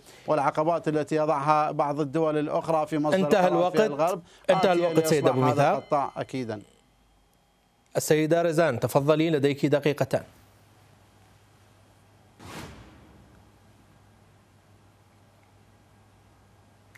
آه، طبعا أول شيء لازم إحنا نستفاد من الخبرات ومجموعة من الخبراء. أكيد موجودة داخل بلدنا. حتى عندهم تجارب أو بحوث. إحنا نستفاد منهم لأنه آه، حسب علمنا أعرف الدولة العراقية خاصة الوزراء الوزراء المختصة بهذه المجال هم ما آه، يستخدمون أي خبرة أو ما يستخدمون آه، أي آه، بحث عن طريق هذه المجموعة كموجودة. إحنا نعرف ما دام ما دام خلل موجود وهذا الخلل يحتاج إلى حل. حل مو عن طريقنا كنقدر إحنا ما قدرنا. يعني هاي الأحزاب السياسية كل هاي السنوات عندهم هاي الوزارات وهاي الخدمات ويسيطرون وحكومات السابقه وحالية ما قدروا يحلون هذا المشاكل. بس لازم آه، لو يستفادون من خبرات داخلية أو آه، دول الجوار كهم نجحوا خاصة بملف الكهرباء ملف التعليم ملف الصحة يعني يمكن أحسن منا مع العلم ووضع الاقتصادي هم آه، أسوأ من الوضع الاقتصادي مالتنا. أما هم اعتمدوا على آه، هذه الخبرات الداخلية حتى قدروا ينجحون، إحنا أول شيء لازم نهتم بهذه المواضيع وهم آه، نستفاد من هذه الدول كدول الجوار موجودة أو دول الأخرى دول الأجنبية. مو مثل هسه كشركات هم فقط يأخذون الفلوس بدون أي عمل، لأنه هذه شراكات وهذه الفساد موجودة من داخل العراق، يعني أي شركه يجي إلى العراق لازم 80% هي استفاد لو وزراء لو أشخاص داخل هذه الوزراء فقط 20% وهذه ال 20% هذه نعم. الشركات ما يقدرون يعني نعم. أي خدمة عندهم يوصلون إلى دولة عراقية يعني نعم. من هسه لازم إحنا نشتغل على هذه الطرق السيد نبيل ذات السؤال تفضل بالرد يعني بدون شك قطاع الكهرباء يعني قطاع مهم ومهم جدا تعتمد عليه بقية القطاعات الصناعية والخدمية الأخرى. وأيضا قطاع مربح لذلك ترى الشركات العالمية يعني تتنافس في الحصول على عقود لإنشاء شبكات أو أو توريد معدات كهربائية وما شابه ذلك. قدر تعلق الأمر بنا يجب أن يعني نعمل وفق رؤية وطنية في كيفية الاستفادة من هذا التنافس ما بين هذه القوى آه، الدولية المعروفة التي تسيطر أو على الأقل المعروفة في مجال الصناعات الكهربائية. حتى الآن أعتقد أن يعني مشكلة الفساد هي التي تلعب الدور الأساسي وليس المصلحة العامة أو البحث عن المصلحة العامة في كيفية توفير الطاقة الكهربائية. مع الأخذ بنظر الاعتبار زيادة الحاجة إلى الإنتاج الإنتاج من الطاقه الكهربائيه بسبب زيادة عدد السكان والفعاليات الأخرى في آه، في العراق. هذا الموضوع لا يمكن أن يحسم إلا إذا كان التفكير باتجاه تحقيق المصلحة الوطنية وليس تحقيق مصلحة يعني قوى سياسية معينة أو حزب سياسي معين أو لحساب دولة معينة دون دول أخرى يجب أن نتعلم كيفية التعاون مع مختلف دول العالم سواء كانت البعيدة أو القريبة وطبعا القريبة عادة تفضل إذا كانت الخدمات آه، تستوفي الشروط التي تحقق المصلحة العامة من وراء الكهرباء أو غير الكهرباء في الأوقات التي يحتاجها العراق المهم أن نبحث عن مصلحة نعم. العراق أولا في هذا القطاع والقطاعات الأخرى وليس مصالح هذه الشركات أو الدول التي بدأت تعتاش نعم. على حساب العراق. شكرا للسادة المشاركين في المناظرة. الآن لكل منكم دقيقتان إما للتعليق على ما ذكر في معرض الإجابات أو للاستفاضة في البرنامج الانتخابي لكتلتكم. وأؤكد نتحدث فيما يخص الصحة والخدمات. السيد سعد اللامي تفضل.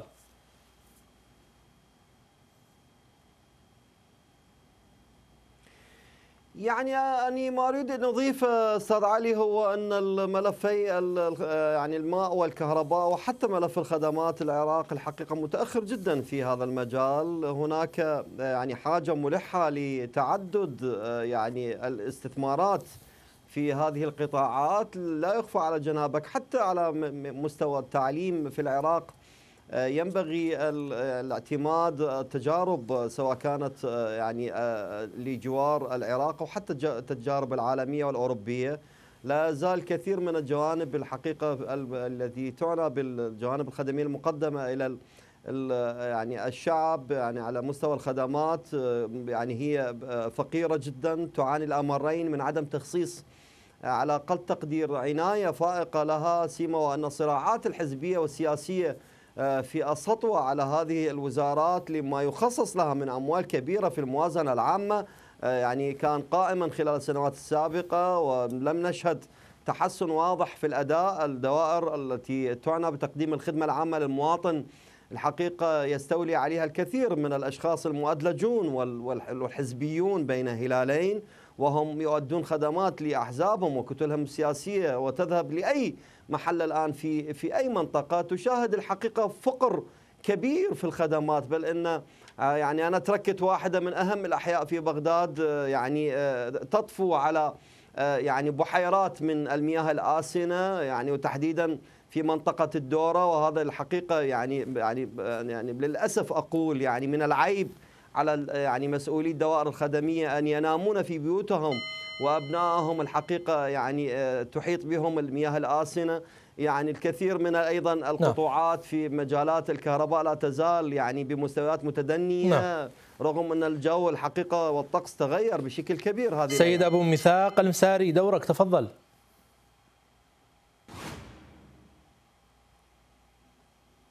نعم آه، أستشعر يعني وأقدر الوجدانية في هذا السؤال آه، ماذا ستقدمون للناخب الذي يعيش بلا ماء ولا كهرباء؟ أريد أن أستحضر الوجدان أيضا في إجابتي وأتكلم مع ناسي وجمهوري وأنصاري ابويا اللي ما استرخص من أجلكم الدماء وبذل الغالي والنفيس. من أجلكم ترى هو ما يبخل عليكم لا بماء ولا بكهرباء. ما دام وبشرط توفر سلطة بسط اليد إذا كان القرار إذا كان هو صاحب قرار ومكنتوه ووقفتوا وراء وساندتوه ودعمتوه ووصلتوه أن يكون مصدر قرار أن يوفر لك كهرباء فلن يبخل لأنه أصلا بدم اللي أغلى من الماء والكهرباء وأغلى من كل نعم الدنيا التي منع الله بها على آه، آه، مخلوقاته. آه، ما من عليكم بدم الغالي. والنفيس فلن يمن عليكم بخدمات سواء كانت خدمات صحية بناء تحتية أمور أخرى اقتصادية أن يوفر لكم ماء وكهرباء. نحن مستعدون وجاهزون بشرط أن تمكنونا من هذا القرار وسوف نمضي بتخليصكم من هذا الواقع المر الذي نتجرعه. يوميا يعني أماكننا ومناطقنا كلها مناطق شعبية وذات وجود جماهيري ضخم وكثيف. ونستشعر الحاجة الماسه إلى السرعة في القرار. أعتقد أنه القرار اليوم ملتبس وليس بأيدينا تماما. وهذا لوجود هذه الظلال الثقيلة دول الاحتلال وقواتها نعم. العسكرية وأجنداتها المشبوهة التي تعمل على الساحة العراقية. سيدة رزان تفضلي.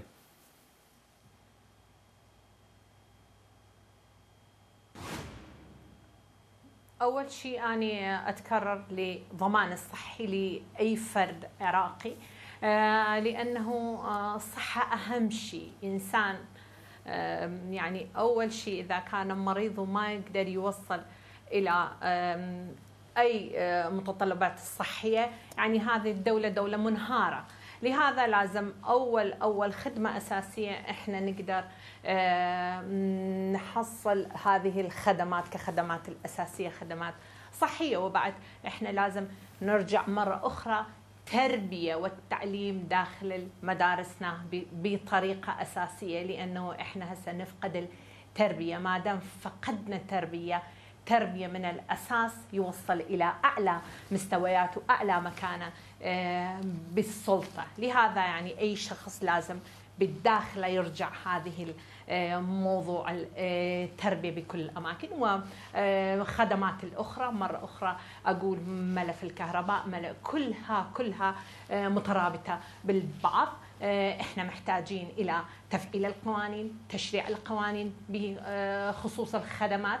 واتكرر حكومات المحلية هم ضروري جدا أشخاص بها آه، إمكانية تامة وبها آه، شخص نزيه بهذه الأماكن حتى إحنا نقدر نوصل إلى هذه الخدمات كفرد العراقي من حقه من حقه داخل دولة بها ثروة وهذه الثروة فقط يروح إلى أشخاص معينين. إحنا نقدر نرجع آه هذه الثروة هم بشرية هم ثروة الحقيقية إلى خزينة الدولة وبعد فرد العراقي يستفاد منها. بأشخاص نعم. مميزين بهذه الأماكن وأشخاص المختصين ومهنيين بأماكنهم. سيد نبيل تفضل تعليقك. نعم. آه، نحن نعتقد أنه قد آن الأوان لمغادرة مسألة تحديد المشاكل وتسمية المشاكل ومناقشة فقط المشاكل هذه المشاكل باتت معروفة لدى كل العراقيين آه، بمختلف المستويات على مختلف الشرائح في مختلف المناطق وعلى عموم مدن العراق. وعلينا الآن أن نبحث يعني بشكل جدي عن كيفية معالجة هذا الخلل في قطاع الخدمات أو في القطاعات الأخرى بما فيها السياسية والأمنية والاقتصادية بشكل عام. وأيضا من ناحية أخرى يعني القوى السياسية التي كانت متنفذة في العملية السياسية وفي السلطة طيلة هذه السنوات لم تقدم أي حلول آه، ملموسة وناجعة في هذه القطاعات آه، آه، للشعب لعموم الشعب في من الجنوب إلى الشمال.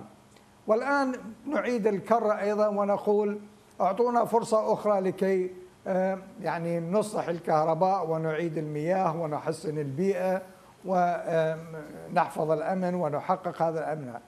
هذه أنا أعتقد هذا هذا الكلام لم يعد مقنعا للشارع العراقي لا في الجنوب ولا في الوسط ولا حتى في الشمال. يفترض على هذه القوى السياسية أن تدرك خطورة المرحلة وأن تقدم شيئا ملموسا للشعب سواء كان في قطاع الخدمات أو في قطاع حفظ الأمن أو في القطاعات استقرار الحياة السياسية في العراق. يكفي عشرون عاما من عدم الاستقرار من المعاناة. هذه هذه المعاناة نعم. يجب أن تنتهي ومن حق الشعب العراقي أن يعيش حياة كريمة في في وطنه معززا مكرما. شكرا للجميع على الإجابات والالتزام بالوقت. نهاية الجزء الثالث من المناظرة الانتخابية. فاصل نعود بعده بملف الشباب وحقوق الإنسان. خليكم يعني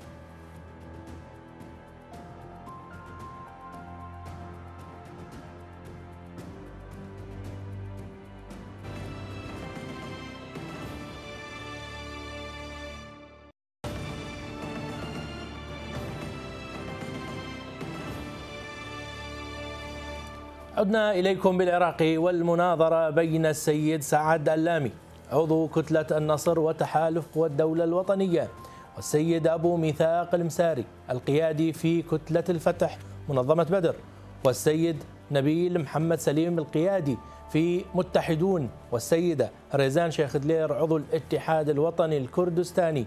حول برامج كتلهم الانتخابية قبيل الانتخابات النيابية الأحد القادم. ملفنا الآن هو الشباب وحقوق الإنسان. سنغير ترتيب الإجابات بين المتناظرين ضمانا للمساواة. وأؤكد هنا هذه فرصة للحديث عن البرامج الانتخابية المتعلقة بالمحاور المذكورة. يرجى الالتزام بذلك. السؤال الأول إذا وصلت كتلتكم إلى الحكم كيف ستقومون بالتغيير الذي طالب به الشباب العراقي في حراك تشرين؟ السيد أبو ميثاق المساري معك دقيقتان. تفضل.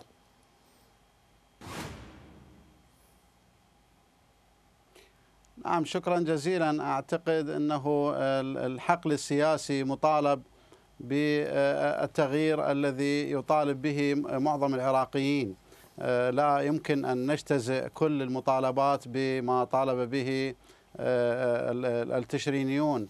المظاهرات الاحتجاجية والمطلبية كنا آه، قد وقفنا معها وخلفها تماما وتبنيناها بشكل كامل. آه، فوق ذلك وزد على ذلك. تبنتها المرجعية الشريفة في آه، النجف الأشرف ومعظم أبناء شعبنا العراقي. لكنه المطالبات لا يمكن أن تختزل في يعني زاوية قصيرة أو يعني يمكن النظر إلها من خلال تشرين. أعتقد المطالبات كثيرة آه، وكبيرة. وأعتقد أنه آه، نحتاج إلى إحداث تسارع كبير حتى آه، نلحق هذه الآلة الكبيرة من المطالبات أعتقد اليوم كل النكوص والتأخر والارتباك الذي شهدته العملية السياسية ممكن أنه نتجنب كل أخطائنا السابقة أخطاء العملية السياسية التي بالمناسبة يعني نحن لا نتبرأ من أخطائها نتبناها بكل ما هي عليه من نجاحات و أخطاء وارتباكات ولا نزعم أننا وصلنا إلى حالة مثالية من العمل السياسي. بالتأكيد لدينا أخطاء ونحن نعمل على تجذيبها والخلاص منها والانطلاق من جديد بعد 10 10 2021 إلى أن نكون أقرب إلى شبابنا وأقرب إلى ناسنا وأقرب إلى جماهيرنا. نصغي لهم كثيرا ونحاول أن نأتي بطلباتهم. إلى الواجهه تماما ونفعلها ونأخذ بها وصولا إلى خلق حالة من التكامل مع نعم. جمهورنا وما يطلب وما يصبو إليه. نعم سيدة رزان تفضلي بالإجابة.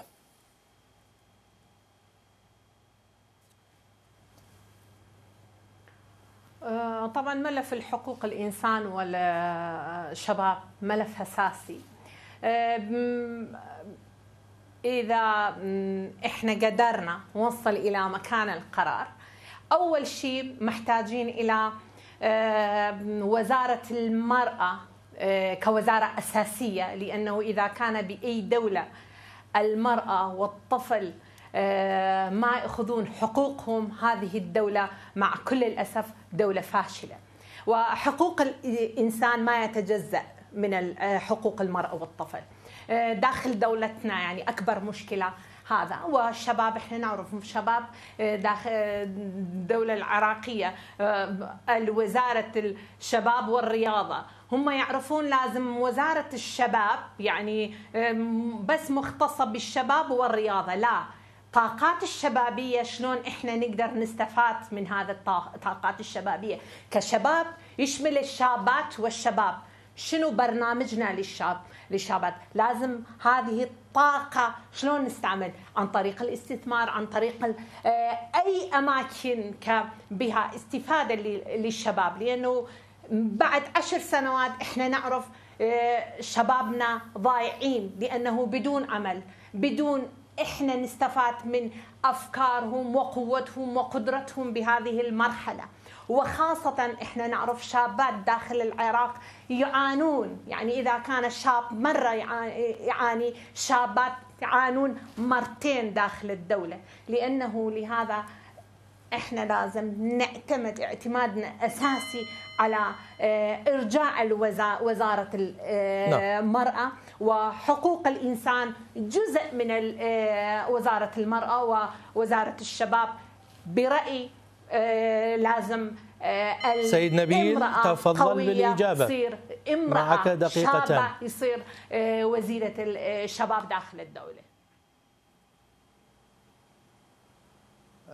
قطاع الشباب وحقوق الإنسان آه، يحظون باهتمام كبير جدا من قبل متحدون. قطاع الشباب طبعا لكلا الجنسين. وهذه الطاقات الشبابية لأن العراق معروف عنه أنه مجتمع آه، فتي مجتمع شاب وهذا هذا عملية مستمرة وليست محدودة بفترة زمنية آه، معينة.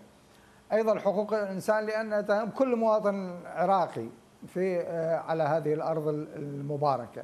لذلك الإهتمام بهذين يعني قطاع الشباب ومسألة حقوق الإنسان مسألة مهمة جدا بالنسبة آه، لمتحدون.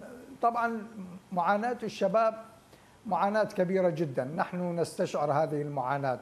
ونعتقد يعني أن الشباب لم يحصلوا على الفرصة الكافية لا للتعبير عن آرائهم لا للتعبير عن قدراتهم لا للتعبير عن إرادتهم. ونعتقد أن هناك على مدى السنوات السابقة أو العقدين السابقين كان هناك تفريط بأهم مورد من موارد الدولة وهو مورد الشباب.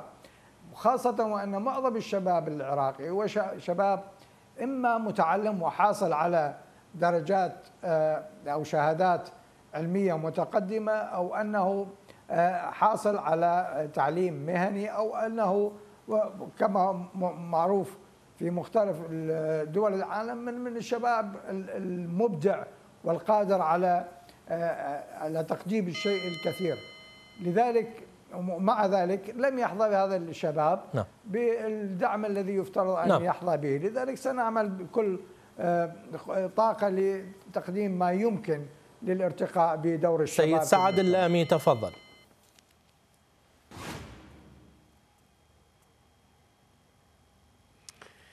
يعني واحدة من الملفات المهمة الحقيقة الملف التشريني التظاهرات التي بدأت في عام 19 كنا نطالب يعني وبأكثر من يعني يعني لا أخفيك يعني كان هناك بيانات كثيرة صدرت من ائتلاف النصر تحديدا حول عدم الوصول إلى الصدام المسلح أو الصدام العنيف أو استخدام القوة المفرطة في التعامل مع المتظاهرين الذين كانوا يشكلون آه، يعني في نسبة تظاهر الشباب الجل الأعظم من هذه آه، آه، التظاهرات. وقلنا أن علينا الاستماع إليهم حتى وإن كانت المطالب يعني تحتاج إلى فترات زمنية لتحقيقها. كان من المفترض أن يكون هناك استماع لأراهم طالما أن الدستور العراقي كفل حرية التعبير عن الرأي وحرية المواطن العراقي في المطالبة بحقوقه مع التأكيد على أن هناك واجبات آه، يجب أن آه، يعني يتم آه، تقديمها ولكن بالنتيجة أنت عندما لا تعطي حقوق المواطن العراقي لا يجب أن تطالبه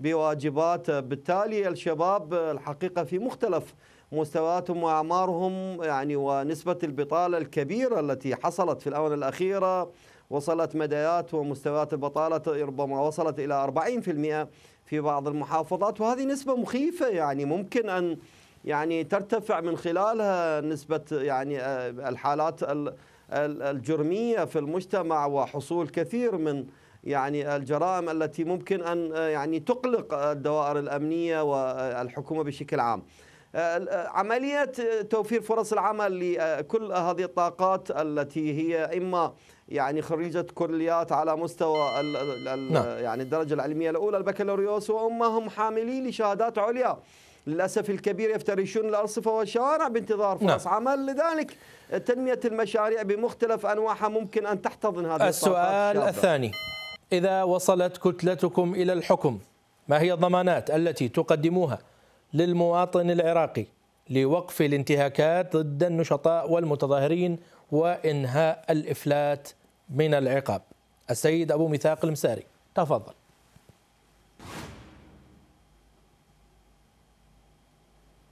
نعم بكل تأكيد آه، بتقوية المفوضية السامية لحقوق الإنسان آه، بمزيد من حرية الرأي والتعبير من خلال الإعلام المكتوب والإعلام المرئي والمسموع.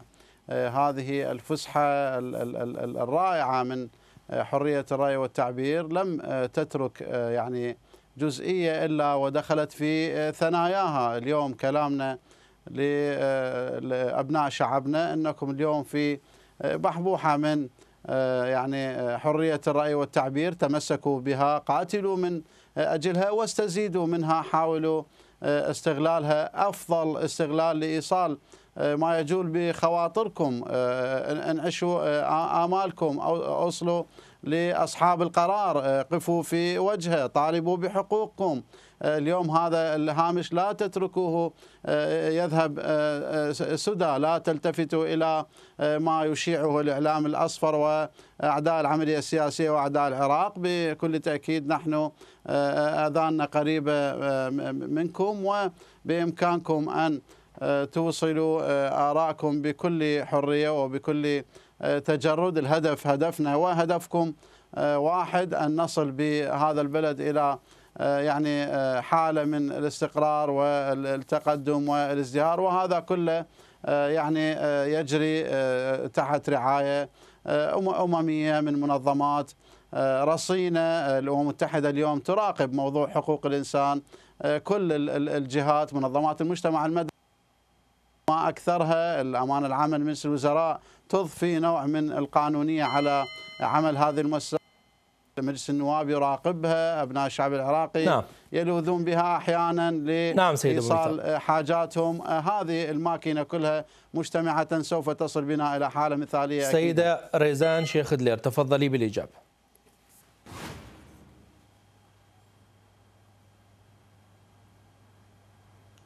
أول شيء لإحترام حقوق الإنسان وأمن وأمان للدولة إرجاع آه، كل السلاح المنفلت إلى إيد الدولة ونستفاد من طاقات الشبابية هذا أمل أساسي بإفتتاح أي شركات استثمارية لازم طلب آه، من الحكومة الشباب لازم عندهم دور بهذه العمل داخل هذه الشركات. والشيء آخر كلش مهم لازم إحنا نعتمد عليها لأنه بسبب الداعش إحنا عرفنا شو صار ببلدنا خاصة مع الأسف ثاني أقول ما عندنا قانون مناهضة التعذيب تشريع قانون مناهضة التعذيب تشريع قانون منع اختفاء السري تشريع تعديل قانون بطاقة الوطنية لأنه داخل العراق.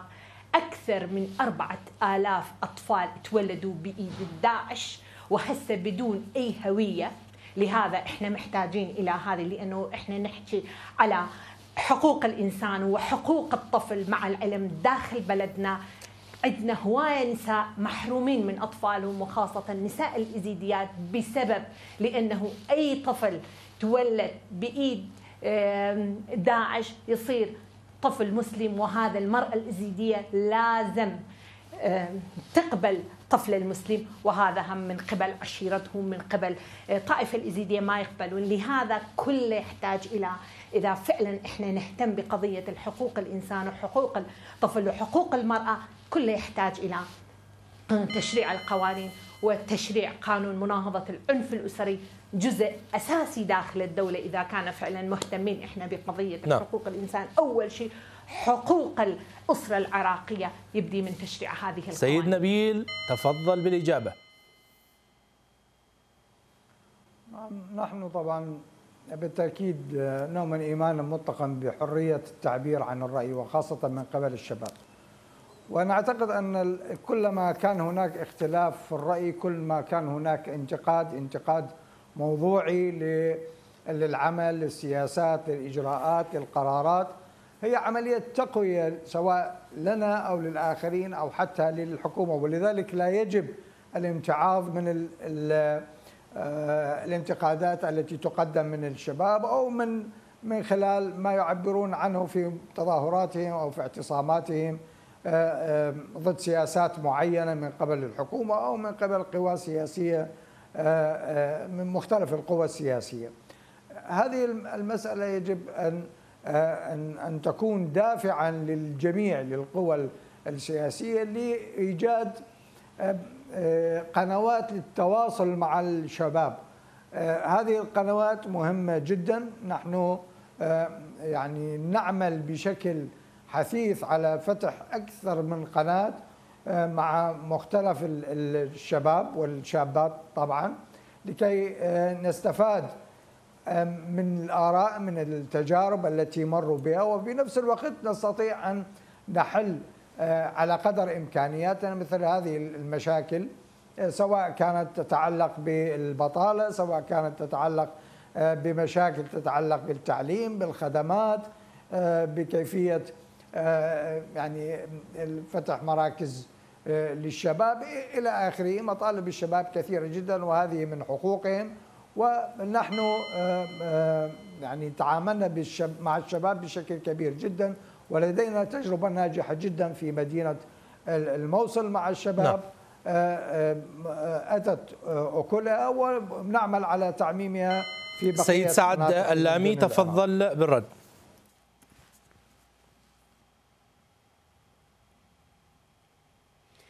يعني واحدة من الملفات المهمة الحقيقة هو الانتهاكات الخطيرة التي شهدها العراق على أقل تقدير في الآونة الأخيرة لحقوق الإنسان سيما وأن يعني هناك من يعني آه، آه، يتسلم آه، سلطات تجعله يتعامل مع المواطن العراقي بطريقة مسيئة الحقيقة لي ويخدش مشاعر الناس ومسيئة للإنسانية. هذا الإنسان الذي طالما نسميه الإنسان عليه أن يكون محترما محترما ومحترما أيضا للقانون. نحتاج الحقيقة إلى تنظيم قانوني قانون في مجلس النواب والتصويت عليه وممكن أن نسميه قانون تنظيم الحريات أو ممارسة الحريات. مفهوم الحرية في العراق الحقيقة يحتاج إلى كثير من التثقيف بهذا الصدد. في كل دول العالم هناك قانون ينظم عملية حريتك والتعبير عن حريتك. التعبير عن الرأي أيضا يجب أن ينظم بقانون يجعل من آه، التعبير عن الرأي آه، يعني لا يخترق فيه هيبة وسيادة ونظام وأنظمة وقوانين الدولة العراقية. بالتالي أن تذهب إلى حماية حقوق الإنسان عليك أن تراعي أن تكون سلطاتك قائمة سلطاتك القضائية و التشريعية والتنفيذية. تتعامل مع المواطن العراقي على أنه مواطن من الدرجة الأولى ليس هناك فرق.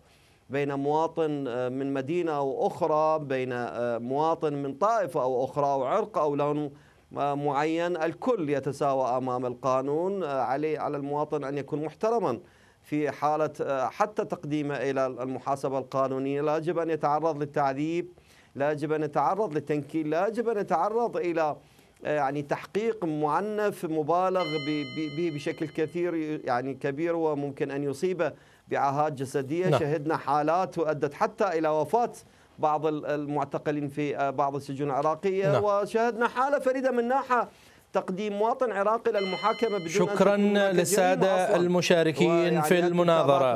الآن لكل منكم. دقيقتان. إما للتعليق على ما ذكر في معرض الإجابات أو للاستفاضة في البرنامج الانتخابي لكتلتكم فيما يخص وأكرر فيما يخص. ملف الشباب وحقوق الإنسان. السيد أبو ميثاق تفضل.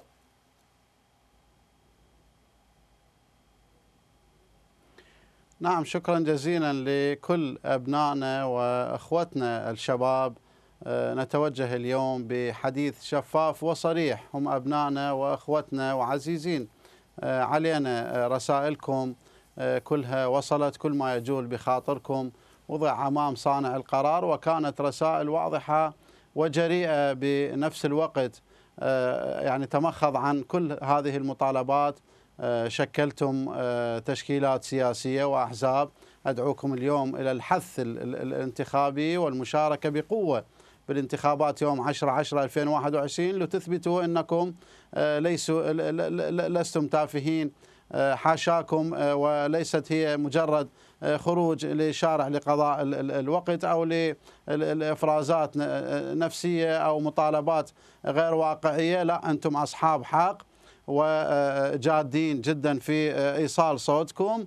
خذوا فرصتكم وطالبوا بحقكم من نسبة في اتخاذ القرار في هذا البلد. نحن ننصت لكم جيدا ونضع أيدينا مع أيديكم. سابقا كنا معارضة وأصبحنا اليوم سلطة واليوم الدور لكم. أنتم اليوم معارضين وأوصلت رسائلكم بوضوح وشفافية.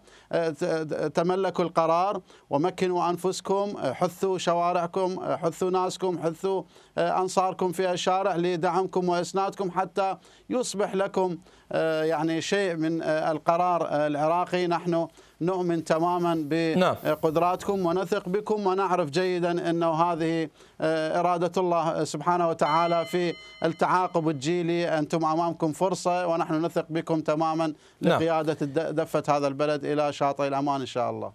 السيدة ريزان تفضلي لديك دقيقتان.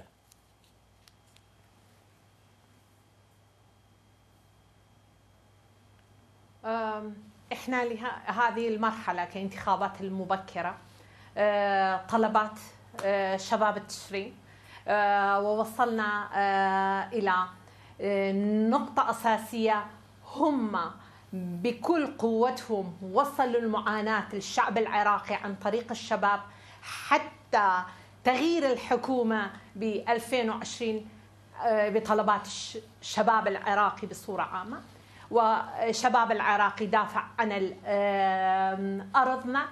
هم من قبل حشد الشباب داخل الحشد الشعبي داخل قوات البيشمركة بهذا الوقت بوقت الداعش هم اشتروا السلاح لأنفسهم وروحوا إلى حتى يدافعون عن البلد. ونسائنا هم بكل الطرق شابات دافعوا عن وطنهم. وإحنا آه، ننتظر للحكومة الجاية والبرلمان الجاية حتى هم يأخذون حقهم داخل مجلس النواب لأنه آه، شباب لازم بها وجود لأنه عمر الشباب نزل للمجلس النواب إلى 28 إن شاء الله هواية شباب بها وجود داخل مجلس النواب وهواية شباب هم عندهم وجود داخل وزراء وزارات خاصة وزارة الشباب.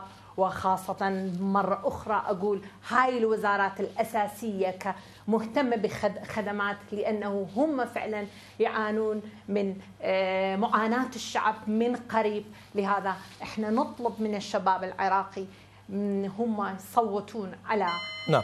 أشخاص وأفراد وأي حزب فعلا يخدمكم آه، بالحكومة الجاية والبرلمان الجاي. سيد نبيل تفضل.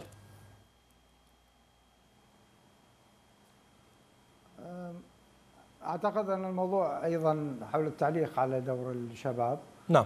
آه، نحن في المرحلة المقبلة يعني آه، نعمل على إدامة التواصل الذي بدأ مع الشباب منذ سنوات حقيقة وليس من الآن. وقطعنا فيها أشواط كبيرة جدا لكن نحتاج طبعا إلى آه، بذل جهود آه، أكبر يعني هو ما منع هو الإرباك في الحياة السياسية وفي الحياة العامة بشكل عام والحياة اليومية للمواطنين العراقي والذي يمنع في كثير من الأحيان من التواصل مع الشباب. لكن التجربة آه، تعمقت بشكل كبير جدا ونحن نتفهم مشاكل الشباب بشكل آه، واعي ونقدر أيضا الطروحات التي يقدمونها الشباب في هذا المجال أو ذاك ونعمل على حلحلة المشاكل قدر الإمكان نعم. المشاكل التي نستطيع أن نتدخل لإيجاد حلول آه، لها طبعا هذه أيضا مرهونة بمدى الحريات التي سوف تفنى تمنح من قبل الحكومة القادمة والحكومات اللاحقة للشباب للتعبير عن آه، آرائهم وأيضا لبيان قدراتهم سواء في آه، يعني المشاركة السياسية في الإدارة الإدارات العامة في حقول العمل المختلفة إلى آخره. نعتقد أن الشباب هي الثروة الحقيقية لهذا البلد أكثر من أي ثروة من ثرواته نعم. الأخرى ويجب الاهتمام بها من قبل كل القوى السياسية ونحن أولا سيد سعد اللامي تفضل.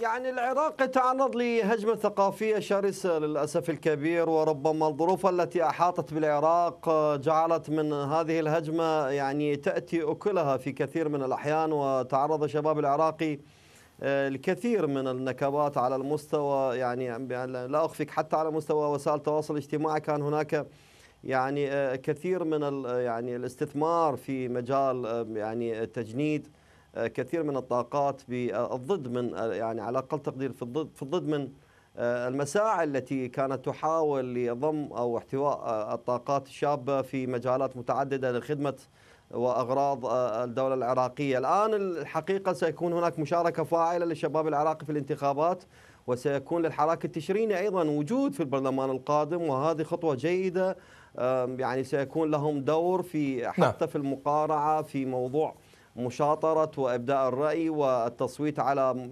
قرارات مهمة في البرلمان القادم. ممكن أيضا أن يكونوا ممثلين يعني جيدين لنظرائهم وأقرانهم وأعمارهم وبالتالي هي يعني أنتجت تظاهرات. تشرين أنتجت بالفعل آه، ثمرة هي آه، لبنة أولى نعم. ممكن أن تكون في ما بعد نعم شكرا شكرا لك سيد أنا أسف لأنه ما بقى وقت على وطنهم. كان مشكلة في الصوت. مشكلة في الصوت أدت إلى آه، الوقت وقصر الوقت. أريد أشكر ضيوفي آه، في مشاركتهم على مناظره في هذه المناظرة على حسن المشاركة. والشكر موصول لكم أيضا سادتي آه، المشاهدين على طيب المشاركة. إن شاء الله نراكم يوم غد ومناظرة أخرى. تابعونا على وسائل التواصل الاجتماعي. في أمان الله.